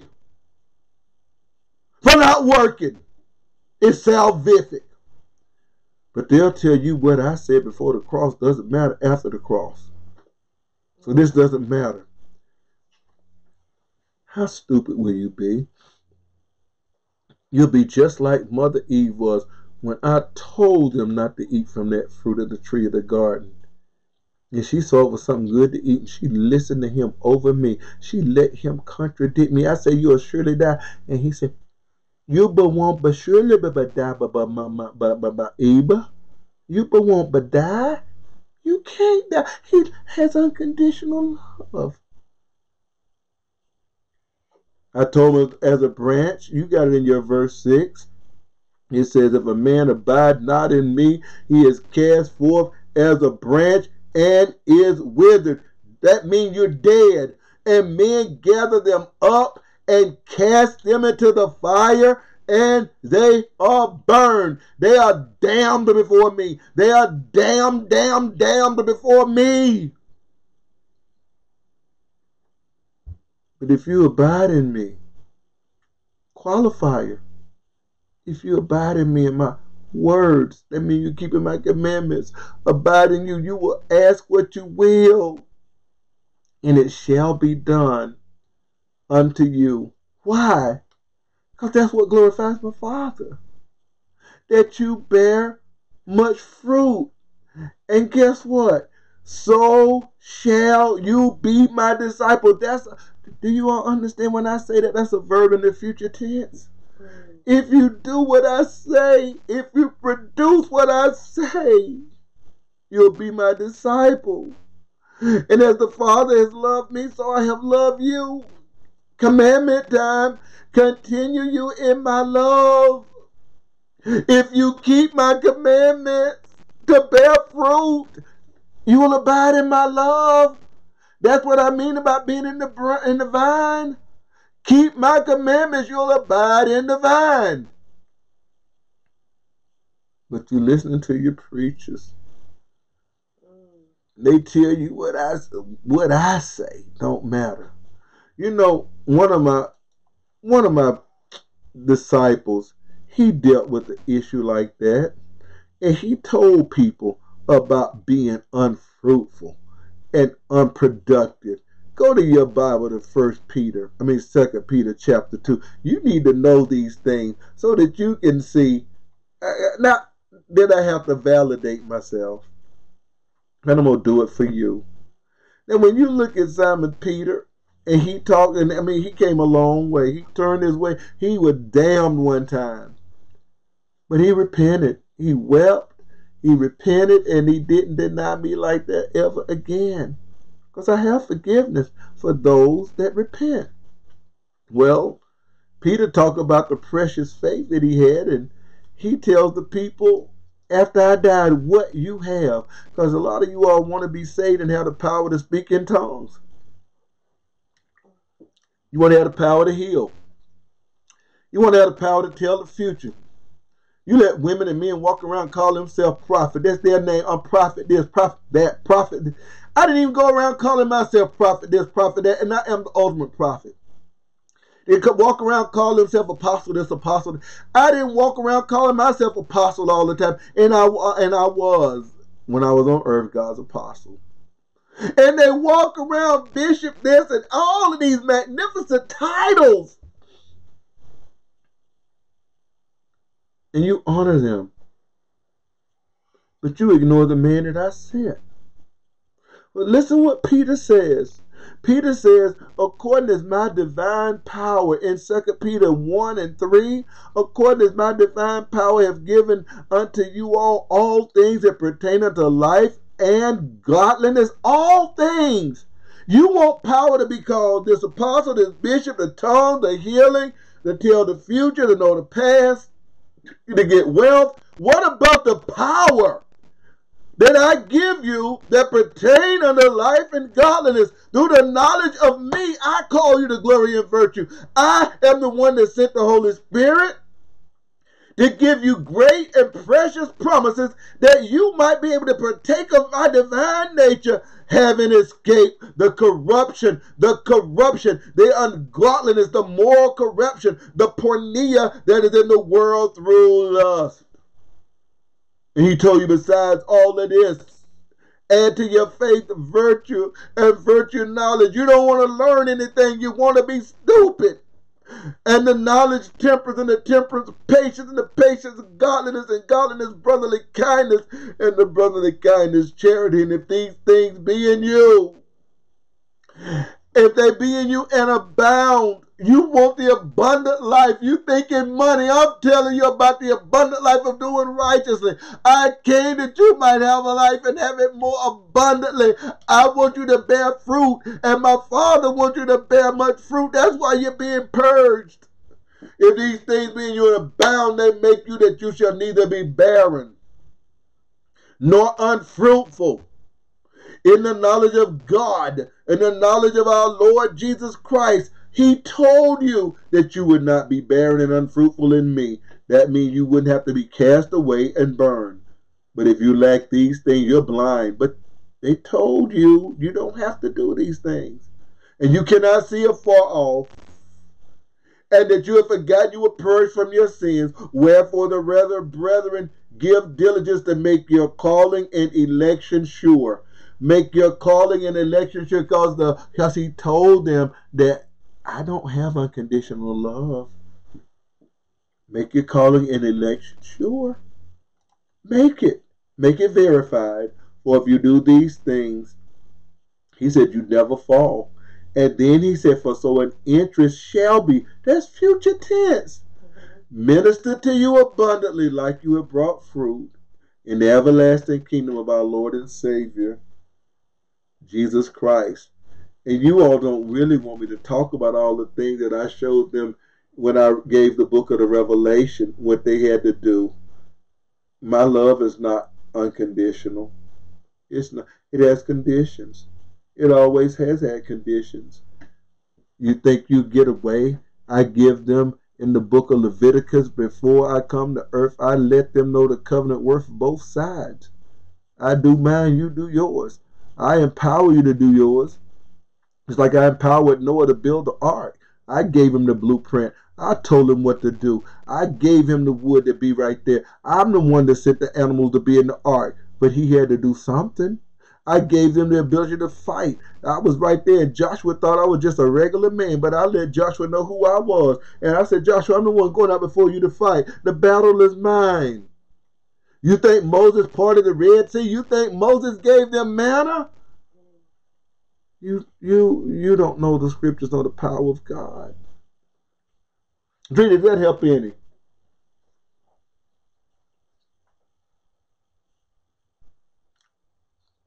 It might not have helped any. We may have just totally lost. Andrew, do you think that helped her any?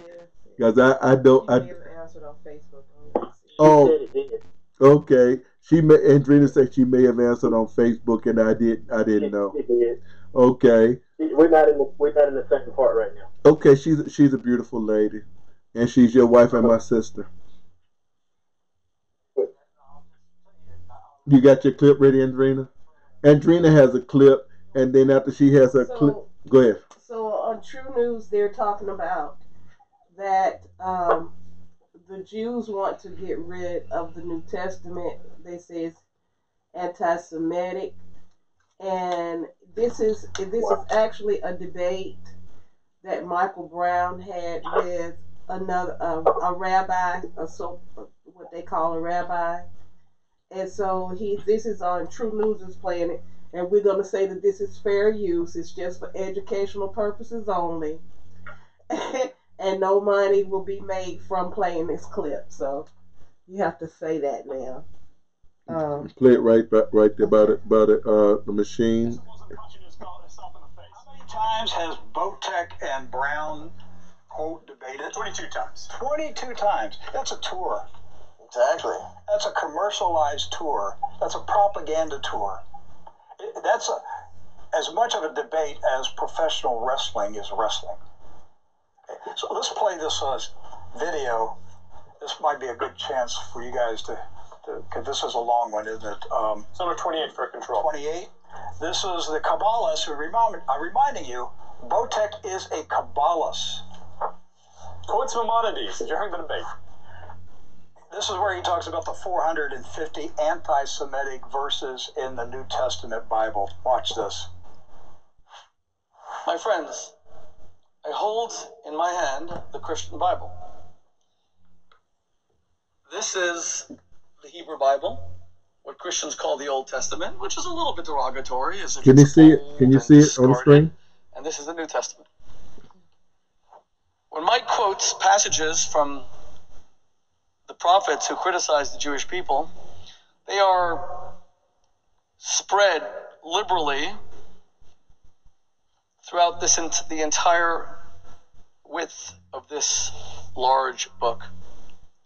When we speak about castigations, condemnations, attacks on the Jews, for example, of being the children of Satan, there are 450 in this small book. They average two per page. I want to read you a small synopsis of the New Testament, and I want you to tell me, given that there are essentially two groups discussed in the New Testament the Romans, the occupiers, and the Jews who are being occupied, who is this referring to? Jew, okay, who is this referring to? Vipers and poisonous snakes. Hard-hearted hypocrites. I'm going to put it on the on the on the thing to The hold it for me Leading the blind. because I'm going to cheat. People who reject God's commandments and reject God's purpose. People who plotted on multiple occasions to kill God incarnate in flesh and eventually did.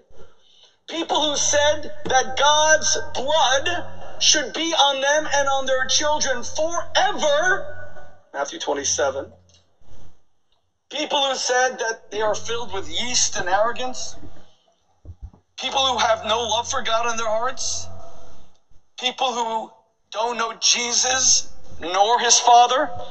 And finally, people who are descendants of their father, the devil.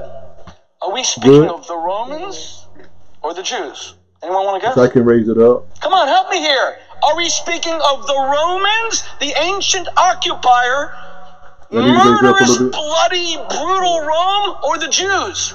We Jews are a righteous people. We're tired of hearing that we deserve what we get.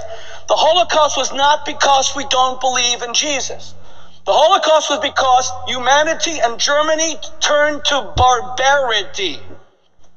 Let me prove to you for a quick moment that portions of the New Testament were edited to make the Jews look murderous. In Acts chapter 9, verse 23, the story is told about the Apostle Paul. Quote, after many days had passed, the Jews conspired to kill Paul.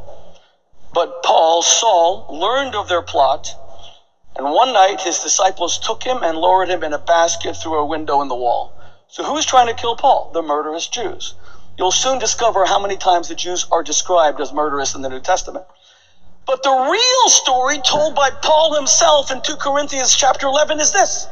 In Damascus, the governor under King Aretas, ally of Rome, had the city of the Damas of the Damascenes guarded in order to arrest me, Paul. But I was lowered in a basket from a window in the wall and slipped through his hands. Do you understand what's happening here? The Romans and their allies are trying to kill Paul because Jesus' followers are claiming that Jesus is the Jewish king, which is a capital offense to Rome. You have to worship the emperor. But in Acts, it is changed. It's no longer the Romans who are trying to kill Paul, it is the Jews. And if that's not anti Semitism, a blood libel, then I don't know what is. And yet we're told Pilate is sitting there, Matthew 27, arguing with the Jews who are praying for Jesus' blood. Crucify him! Let Barabbas go! Barabbas is a murderer. Let him go! And suddenly Pilate, genocidal mass murderer, suddenly cares for the leader of a tiny sect, and he says to the Jews, Bring a pitcher of water. I need to wash my hands. I wanted for the historical record that while I've killed tens of thousands, hundreds of thousands of people, I suddenly care about one Jew And then it suddenly says in Matthew that all the Jews claimed his blood be upon us and upon our children. Do you know how many Jews died throughout the centuries because of that one verse?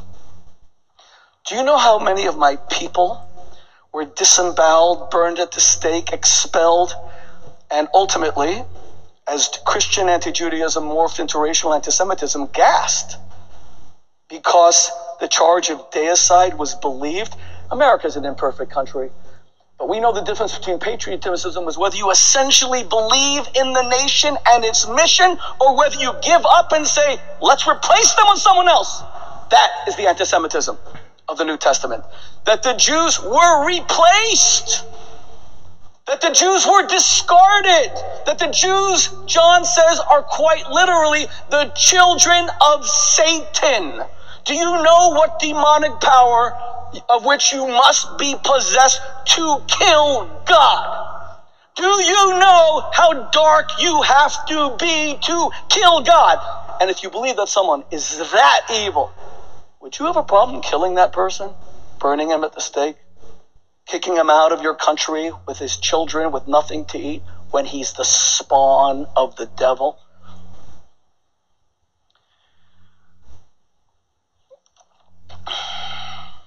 It's for this reason that the Vatican itself wrote, quote, some New Testament references, hostile or less favorable to Jews, have their historical context. This is the Vatican. In conflicts between the nascent church and the Jewish community. Certain controversies reflect Christian Jewish relations long after the times of Jesus. Translation? They inserted these verses 40, 50 years after the death of Jesus to destroy the Jews and exonerate the Romans. Now, why would they do that? Simple logic. Our hands are stained with blood. It, it will not change until my dear friend Mike Brown and my dear friend Mitch Glaser and all my friends at Chosen People Ministries, and we're all going out to dinner afterward because we're friends, until they get up and say, we utterly renounce and repudiate now and forever a belief that Jews who don't believe in Jesus are going to hell until that is stated emphatically and clearly, then the hatred, God forbid, even if it's not wanted, might just continue. Hey, I want to get this real plain to Rabbi. All right, you all. I'm not just wanting to hear what anybody has to say. I want to know what somebody have to say other than me. No, I want you to say. Oh, you want me to answer? Oh, okay. I thought you okay, said you, you. can wait. You can wait. I- I So guess- Garry has something. Garry, did you did you hear it? I did. Was it clear? It was clear. What do you what do what what do you have to say about that? Well, I think he's doing a, a great deal of parsing, and he is not looking at history as it shows a reflection of reality that actually took place and how it affects what's going on now. And, and he seems to be just really taking it that, uh, in a sense, taking it personally. That it, the Jews, first of all, could do no wrong. Also, if we start looking historically at um, who the actual Hebrew people was, is he one of these people who went from Europe and who needed to escape some type of persecution, and then they could go to Israel and claim another identity, even though they didn't know it, but just claim that identity and now say that he is Jewish. So I mean, there's there's, there's just a multiplicity to me. It seems of problems there, and so he's talking about taking someone else's identity when it seems that I I, I, I don't know what he looks like, but it seems that there's a possibility that he's done it himself. But to change where the scripture is saying that Rome wanted to kill Paul, and then to say that um, it was switched because now in, in other parts it's saying that the, the Jews want to do that. It, there's just there's just he's not even being he, there's no integrity in what he's saying. I don't know what his agenda is, but it, it seems like something's there. So it, just just a just a lot there. That's that's how I'll start off anyway. But utter nonsense. I want to add this because he, he said something about blood libel. And he said that for the Jews, what what Jesus was claiming and the people who were believing in him, that is blood libel. That is idolatry, and that death is that it that's worthy of death. He's saying that right now. He's saying he's not just saying it was then, he's saying it right now. That if you believe in this, in these writings of the New Testament, and if you believe that that you have to believe in Jesus, it's blood libel. I I I, I may that's what I thought I heard. Did you hear that? I, I didn't have to hear. I mean, I didn't hear that word like that because I didn't pay it. I, I was doing something else, but Okay. I wait a minute. I heard him say that you're you're responsible. I may not have caught the word libel, okay. but everything in the tenor and the context of it was saying that everything in it was wicked and ungodly. And first of all, who said you were a Jew? Really? Let, let's be. This man right here was supposed to be a Jew. Arthur Costner, Costner he said you were Khazars, and he's white as you are. Go look him up. But you took and you stole an identity, and you say all of those people over there that are that you stole the land from the Palestinians with the Balfour re, uh, uh, agreement with Theodore Herzl. You moved people out of the land. You took the land like Dr. Anis Shorrosh that I used to listen to. You took the land from the Palestinian people that were true Christians, Christians that really did believe in following God. You took the land. You upset those people. That's why you have all those problems over there in Israel now because the UN determined you all going to do that with the bankers.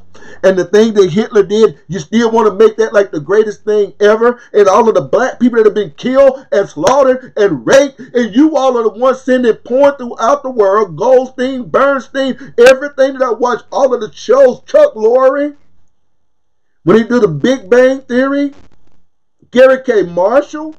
I look at the entertainment that you all do, and you want to say that it's liable. What about the liability when you when you promote all of the black people dancing, women showing their butt, popping their butt, making their vagina poke out where men will want to have sex with them, and you got them popping their breasts everywhere, and then you got the men with their pants hung down. You show murder, rape, and killing, and you're moving, disemboweling people, and you're talking about you. You're not even Hebrew. You don't get Hebrew from your mother, you get it from the father.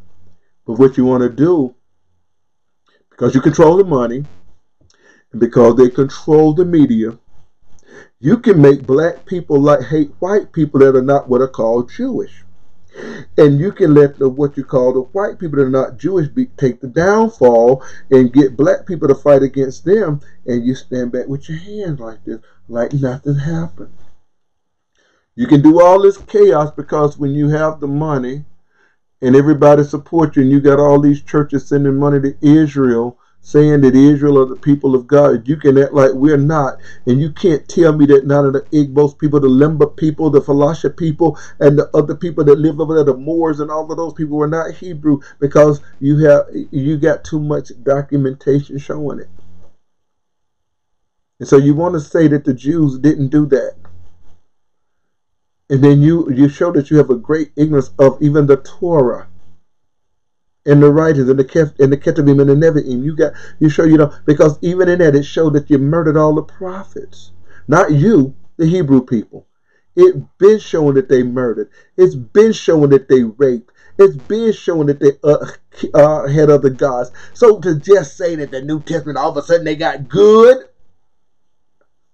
how did we get scattered? Trace your lineage back. Titus destroyed the temple in 70 AD. Show me anthropologically, ge- geographically, and philologically that you, you, Boteach, you've never beat Dr. Brown in a debate, and I don't believe Dr. Brown is a Hebrew. He claims to be a Messianic Jew. He might be. I know not. But I know that the first time when he was having a real debate with somebody that knew what what was going on with the haplogroups of the genealogical background, he said that those Jewish people would be darker than this. That table was mahogany brown, wasn't it? A gold. It was darker than this. All those shades. He said that's the color that they would be. But when we get pictures of Jerry Seinfeld, and what's that woman name on the View that got all that mouth, Joy Behar, and you get oh, my goodness, you want this. those of you that don't know the Word of God, that's the group that can ban you what you call your New Testament. And they have the ability to give people this right here, this star. And many of the people that say that they're Hebrew, they go through them, let them say that they're Jews. They'll give you money to set up in your neighborhoods. And then the word of God be tossed asunder again. So you think that the world will never get to the place where, where it will accept God's Messiah? It will, whether it has to come through bombs, famine, or whatever. They're gunning for us. I've told you all before. I don't like Christianity. Christianity goes along with that.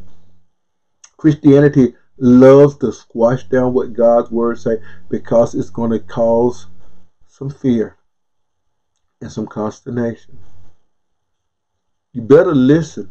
When Boteach says that, he has a lot of audience. He's not that brilliant, but he's come up with something like Christopher Hitchens did for the atheists, or like Richard, Daw- Richard Dawkins did for the atheists. Learn your Bibles. Learn the Word of God. Learn to look behind the English. Because what he was saying is he's blaming the Bible for the people being killed that Hitler said were not true Aryans. He didn't like the way that they did the money. A lot of, a lot of other stuff. But there have been more black people killed than them, but we don't have the money. They were sacrificed. They were sacrificed over there and they were given somebody else land, just took the land. Go look it up sometime. Theodore Herzl, Balfour Agreement, and, and the Declaration of Balfour. Go look it up and look at the people in it and read about them. And you got something you want to add? I was going to say that he was mainly speaking of the New Testament. Yes. So I think what happened is I didn't, I, I couldn't, um, I didn't actually watch all of the video, but what he's actually saying is that Dr. Brown's answer was that um, the Old Testament is replete Same thing I was saying. things condemning the um, Israel and saying that these are the things that you all have done. But he said, "Oh, it's scattered. It's it's scattered all through it. All these books, and it's, it's scattered all through the all of these books. So many, but this is just pa- packed full. The New Testament is just packed full, and so we need to condemn it. And I'm hearing that he wants to get rid of the New Testament. That they added things that is anti-Semitic, and that he's actually telling Dr. Brown, in in essence, you have to renounce Christ. Anyway, he answers if you want to play that, but he does answer. Or let people look it up. that. Let people start looking up stuff. Right. But one of the things about that is what he doesn't understand is that it doesn't do that. It, it says in Romans chapter 11 that they were broken off. That mean the real Hebrews, that they could be grafted in again. It says it come to the Jews first, then also the Greek for hearing the word of God is revealed from faith to faith, as it is written, the just shall live by faith. Paul said he wished he could be a curse to God for the Jews, and he was talking about real Hebrew people. He said, I am a Hebrew. I am a Hebrew of the Hebrews. He didn't say I'm from Europe. He didn't say I'm a Khazar. He didn't say I come from the Caucasus Mountain. I'm talking about just one book. This one, not even a lot of them, will tell you that when you hear these things, that there's more to it than what you say. But the next time I talk about it, I'm going to be a little more calm. I'm going to be a little more sweet. Because what'll happen is people will say, he's upset. But the other men get to be upset. But you know, I'm like David and I'm like Jonathan right now. Is there not a cause? Is there not a cause? Do you want you want to start looking at what people do? Look at what they do before they get to condemn. I'm gonna do a couple of more things. I'm gonna do one more thing, and I'm glad you brought that up. We'll probably have to discuss that again because I don't really have anybody saying anything about it. Let's Dree and Garry want to. I want to say this last thing. Well, the last thing that I have is about faith. People will say that your faith has saved you. You're saved by grace alone and faith alone. And I want to show what our Messiah says about that. So let's go to Luke chapter. Let's go to Luke chapter. Let's go to Luke 7 36. Okay? I want to give you three instances about your faith. You're saved by faith alone, grace alone. Let's see what kind of faith we're talking about. So we're going to talk about a whore again, okay? A person that's considered to be a whore.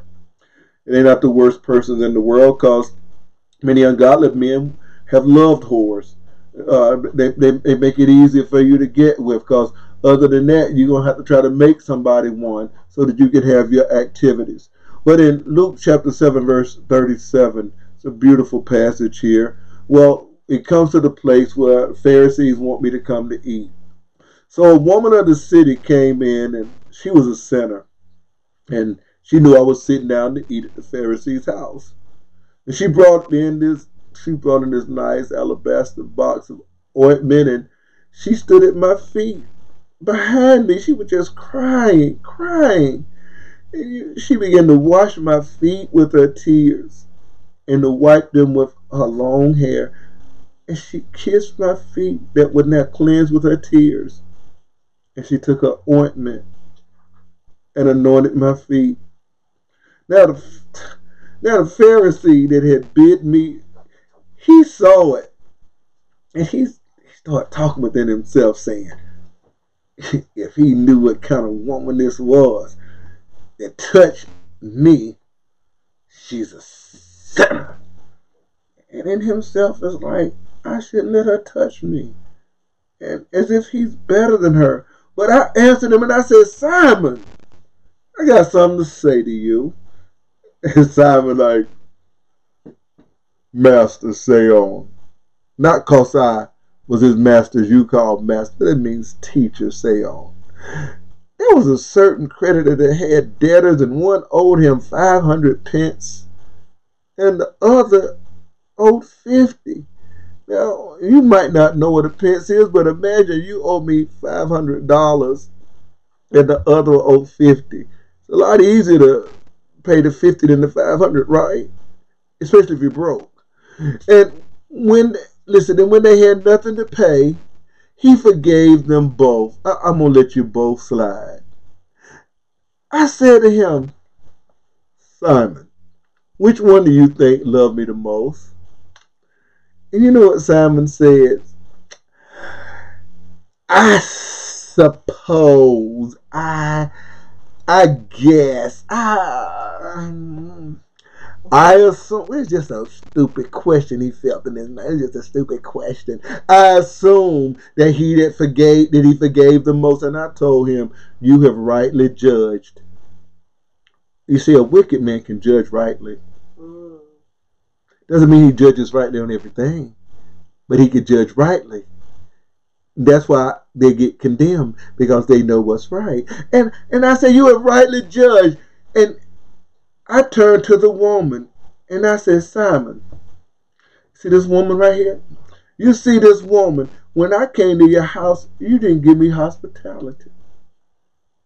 You didn't you didn't give me the greeting of the kiss. You didn't wash my feet. But this woman, she not, only didn't kiss me on the cheek, she washed my feet with her tears and she kissed my feet that had been going through the ground where animals and people spit, animals do their business or whatever, but she didn't care.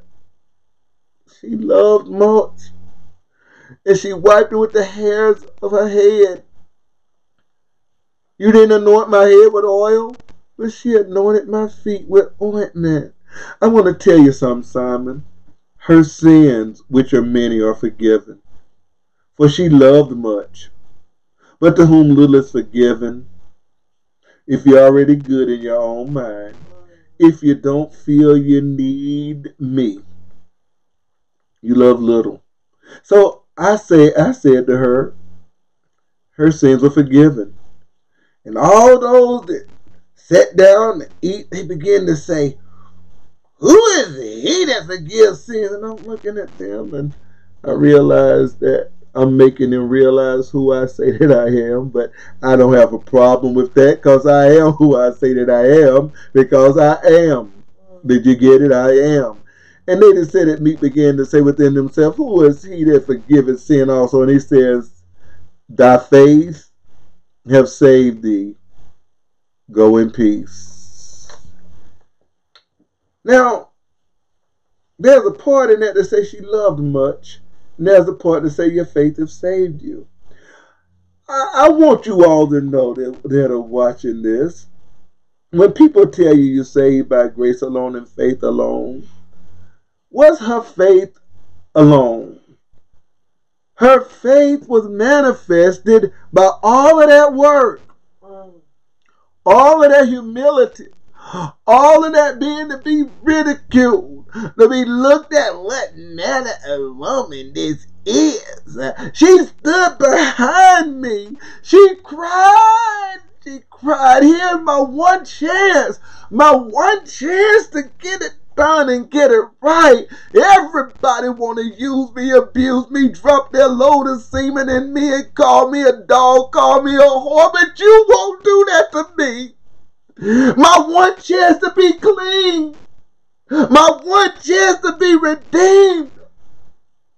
And I know that I'm wrong. Help me. Help me. And she cried. And she she saw that you didn't do me right.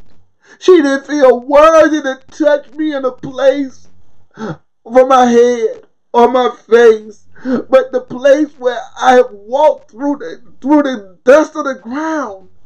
She humbled herself. So I said, Your faith has saved thee. Go in peace. If you're going to be saved, what, what they say, being saved by faith alone, does your faith resemble hers? Well, I understand sometimes that's not clear, so go to in your Bible, Mark chapter 2. Because I want you to see what faith alone should mean, but it doesn't mean when you all talk about me. You see, I went to Capernaum after a few days, it was noise in, at a person's house in your book, Mark 2 and 2. And straightway many people gathered together. There was no room to receive the people. Uh, wasn't even any room to get to the door. And I was preaching the word to them so hard, so good. I was giving them the word that would change souls, that would cause people to come to God, or that would damn them forever. Because not only am I the Prince of Peace, but I come to break a sword. I come to divide. And guess what? If some people come in and they were bringing a sick person that had palsy, this person was paralytic. And four people were, listen, they brought that's a verb. They were carrying. That's a verb. They had to exercise the strength to carry the weight. And look, when they couldn't get to the house, they must have set him down somewhere and they climbed up on the house and they took the ceiling tiles off the roof where, where I was preaching. And it just opened up and then the daylight was there. I was preaching. I was preaching when that happened. And and when they broke it up, they went and got and they struggled, got the man up there, and they let him down. The one that was paralyzed with the sick of the palsy. And when I saw their faith, I said to the sick of the palsy, son, your sins be forgiven. I want you to understand. How did I see their faith? Did I did, did I see that they said that they confess me as Lord? Did I see that they believe in my heart that God would one day raise me from the dead?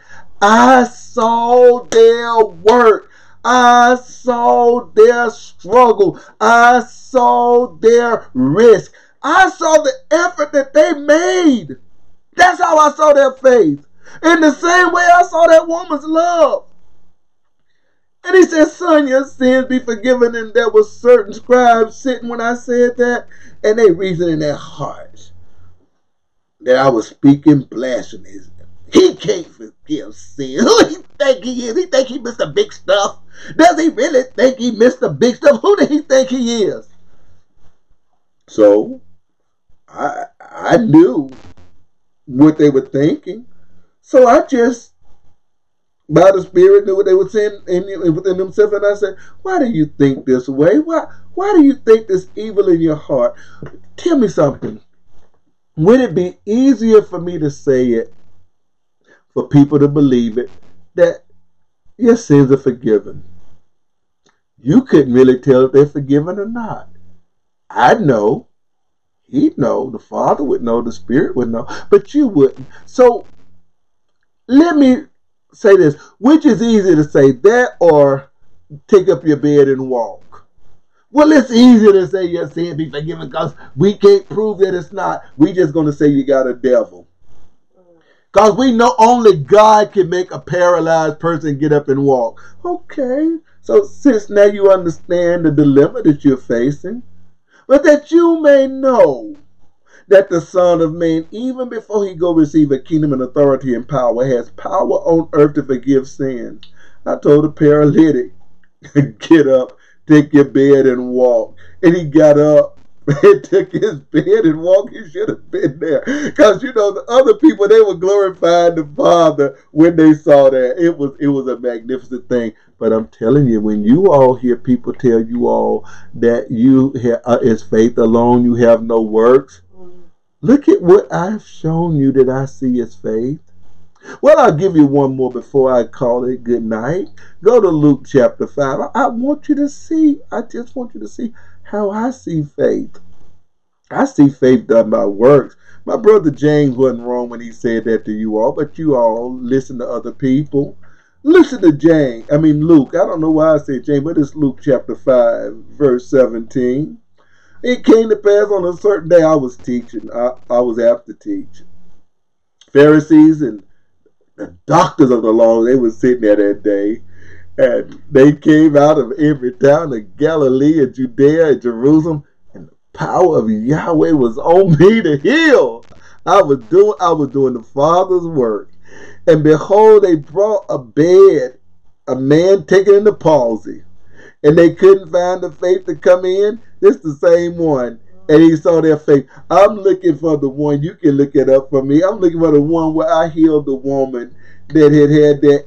She had uh, had an issue. She had been bound, and she she struggled through the crowd.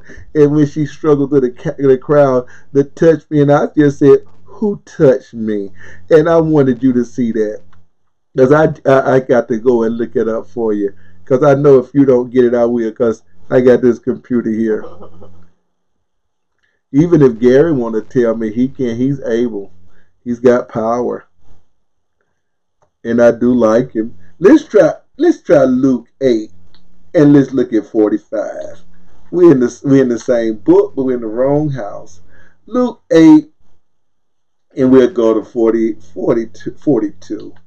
And the man's only daughter was 12 and she was already considered dead. And a woman, and he was going to raise her from the dead. The woman having an issue of blood 12 years. She spent all her living on the doctors, the physician, and couldn't be healed of any. Now, notice this.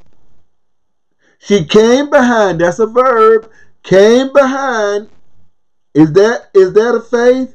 Is that a work? She had to get there. Look, if you've never been low blood, if you've ne- men, if you've never lost blood, you don't understand what women go through on their cycle. Now that don't mean I understand what they go through on their cycle, but I did have a duodenal ulcer one time, and my hemoglobin was down to seven, and I realized how weak that I was. So I know that the loss of blood is the loss of oxygen. The loss of oxygen is weak. This woman has had this 12 years. Mm. Sweetheart, without putting you on the spot all the way, can you imagine 12 years of losing blood in that place? Mm-mm. No. Imagine how expensive that would be nowadays, too. So 12 years she's had this issue. It must not have just been a little issue, it was a, a big issue. But it says she's had it. She spent all her living trying to get rid of it. Physicians couldn't heal. She came behind and touched and touched. Two verbs. The border of his garment, and immediately her issue was staunched. Her issue was stopped. Obviously, this was not something that just go periodically. It must have been a continual flow. And Jesus said, Who touched me? When all denied, Peter and they were with him said, Master, the multitude throng and press you. Who? T- what do you mean you touched me? And I had to say, Somebody touched me. I perceive virtue has gone out of me. And when the woman saw that she was not hid, she came trembling, Mm. humility like that other woman that washed his feet, trembling and falling down like that other woman did his feet, and she declared unto him before all and before all the people for the cause that she had touched him, and how she was healed immediately. And when he yet spake, there came one. I'm sorry. And then I said, Daughter, be of good comfort. Your faith has made thee whole. Go in peace. Why is it when people talk about the faith, they make it where it's just mental? Why is it just considered to be mental? This woman did the worst, and I'm, and that's it. I'm saying their faith. In every case, when he saw their faith, it was the same way James did. See not a man's faith, you see it by his works. If she'd had a dead faith, she said, I believe, I believe I'm healed. I'm going to speak, I'm healed. I'm going to declare it, I'm going to decree it. This woman went and struggled through to get there. Well, I thought I'd bring that out because that's what I wanted to do today when I was going through the book of Luke.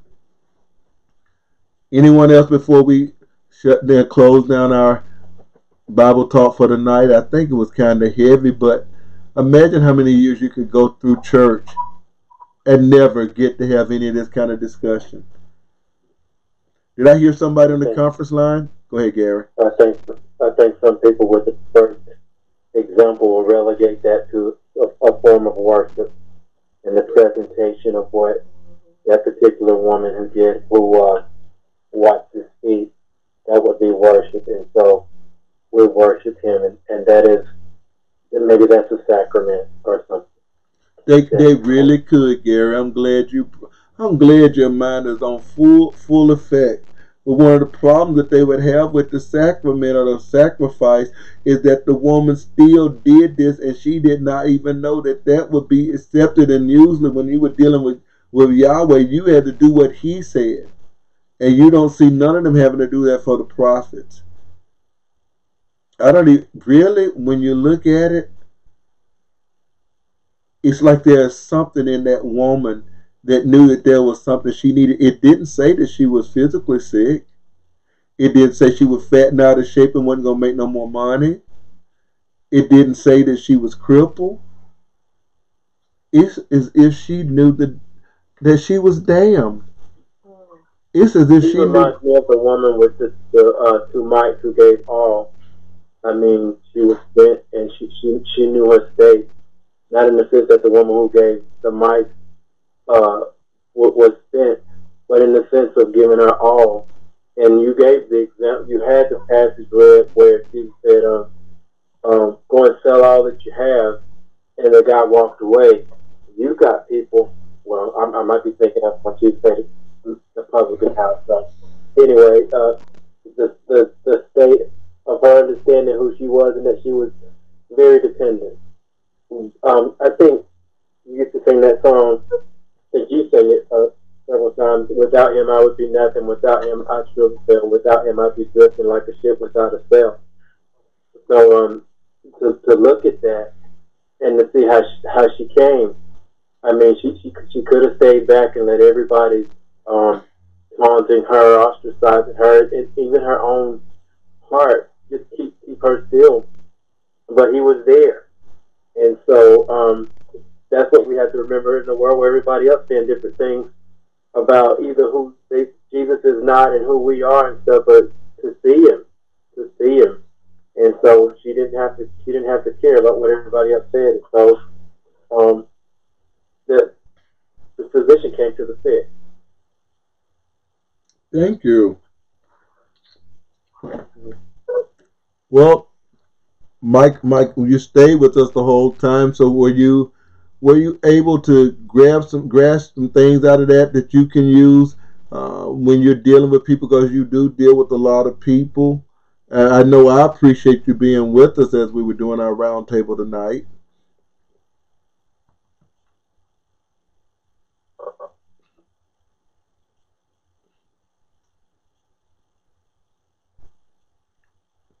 Did you leave us, Garry? Yes, I I- thought you said somebody named Michael. I, I never said the word Michael. That's your son. But um, oh, okay. So, uh, yeah, um, I was waiting on talk. yeah, uh, it was it was good, and um, yeah, I mean, it, it was um, it was it was uh, beneficial for me, and um, Dre uh, enjoyed it as well. Thank you, thank you, Adrian. I, I see it on the on the screen. I I'm telling you now, we got hard issues. We got people that want to take our Bibles. We got people that want to shut down what they call the churches. We have people right now that want to make it illegal for you to know the difference between a man or a woman. And so, not only do they already have some churches now that I believe have women that they think uh, that are men in their churches, or men that they think that are women, but Uh, it'll get to the place get to the place now you could actually date somebody and get married and this person could have breasts and have a thing that looked like a vagina and everything and you marry this person and somewhere find out down the line you've married a man and don't know it because from the time that they were a child you remember that time that that doctor had did that to some twins they cut that boy's penis out and made him like a girl Yeah. all his life. And he still had that problem. So this is it. It reminded me of that, that movie Doctor Moreau. That he had an island of Doctor Moreau. He would do things. Mhm. We have people that's doing the same thing as like those science fiction movies, and uh, they've been doing it a long time. Bugs Bunny with dress and drags and drag and. Now they have them come to your schools and teaching your children. Now the medical profession won't be able to deal with that. And I think in some states, law enforcement officer, they will not be able to call you male or female. And I think 13 states, 11 or 13 states have it now that when you get your license, you can put on that X. And when we move away the distinction in a culture, when you destroy the the moral standards in a culture, you change the language of a culture, you've had your culture changed, and this country will not be the same. And that's why globalism was very, very important. Because those that are orchestrating and setting up the culture, they know what they're doing. They got a religion and they want to they want to put people in their image and in their likeness and make you a living sacrifice. The last thing I read today that I was reading where the sex trafficking in Baltimore is horrible. No, Well, actually, Maryland, Maryland. Um, it it didn't just mention Baltimore, but in Maryland, it's so bad that if you read about it, it will make you sick. It gave one illustration of a young girl that used to run away from home a lot, had friends to stay, and she eventually went somewhere else. And this guy was nice to her. He was nice looking. He was kind to her, and he would get her hair fixed, get her, I think, nail and feet done, and she ended up liking the older guy. And then when she ran away and got to be with him, then he got her to a hotel and said, "Now you got to pay me back for this stuff that you've been that you've been getting."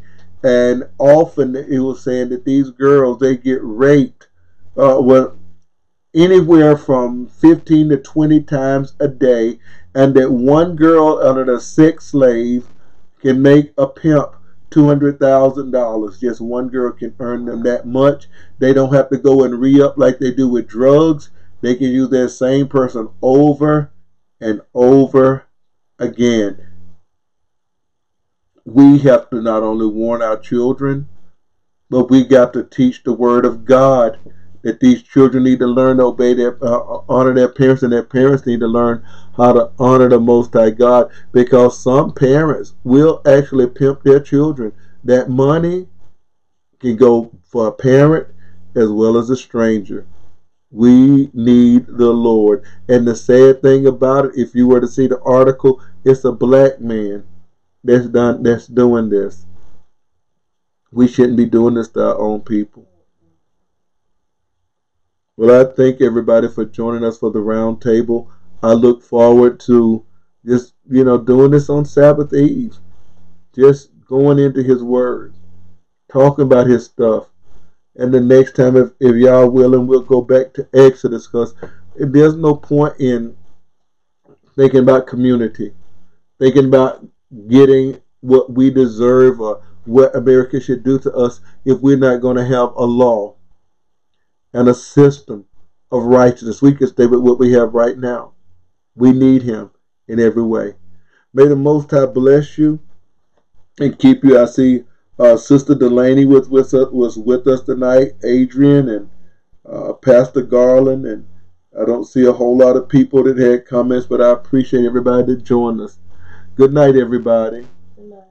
Hello to Pastor Garland and good night to everybody. Y- yeah, cause you know Pastor Garland, don't you? From a long time ago, I, I, so yeah, in Okay. that way. All right. Well, if the Lord's will, in about 11 hours, we'll be doing it again at uh, Bethel Church of the Nazarene. We'll be going through Psalm 127. Good night, everybody. Good night. Good night.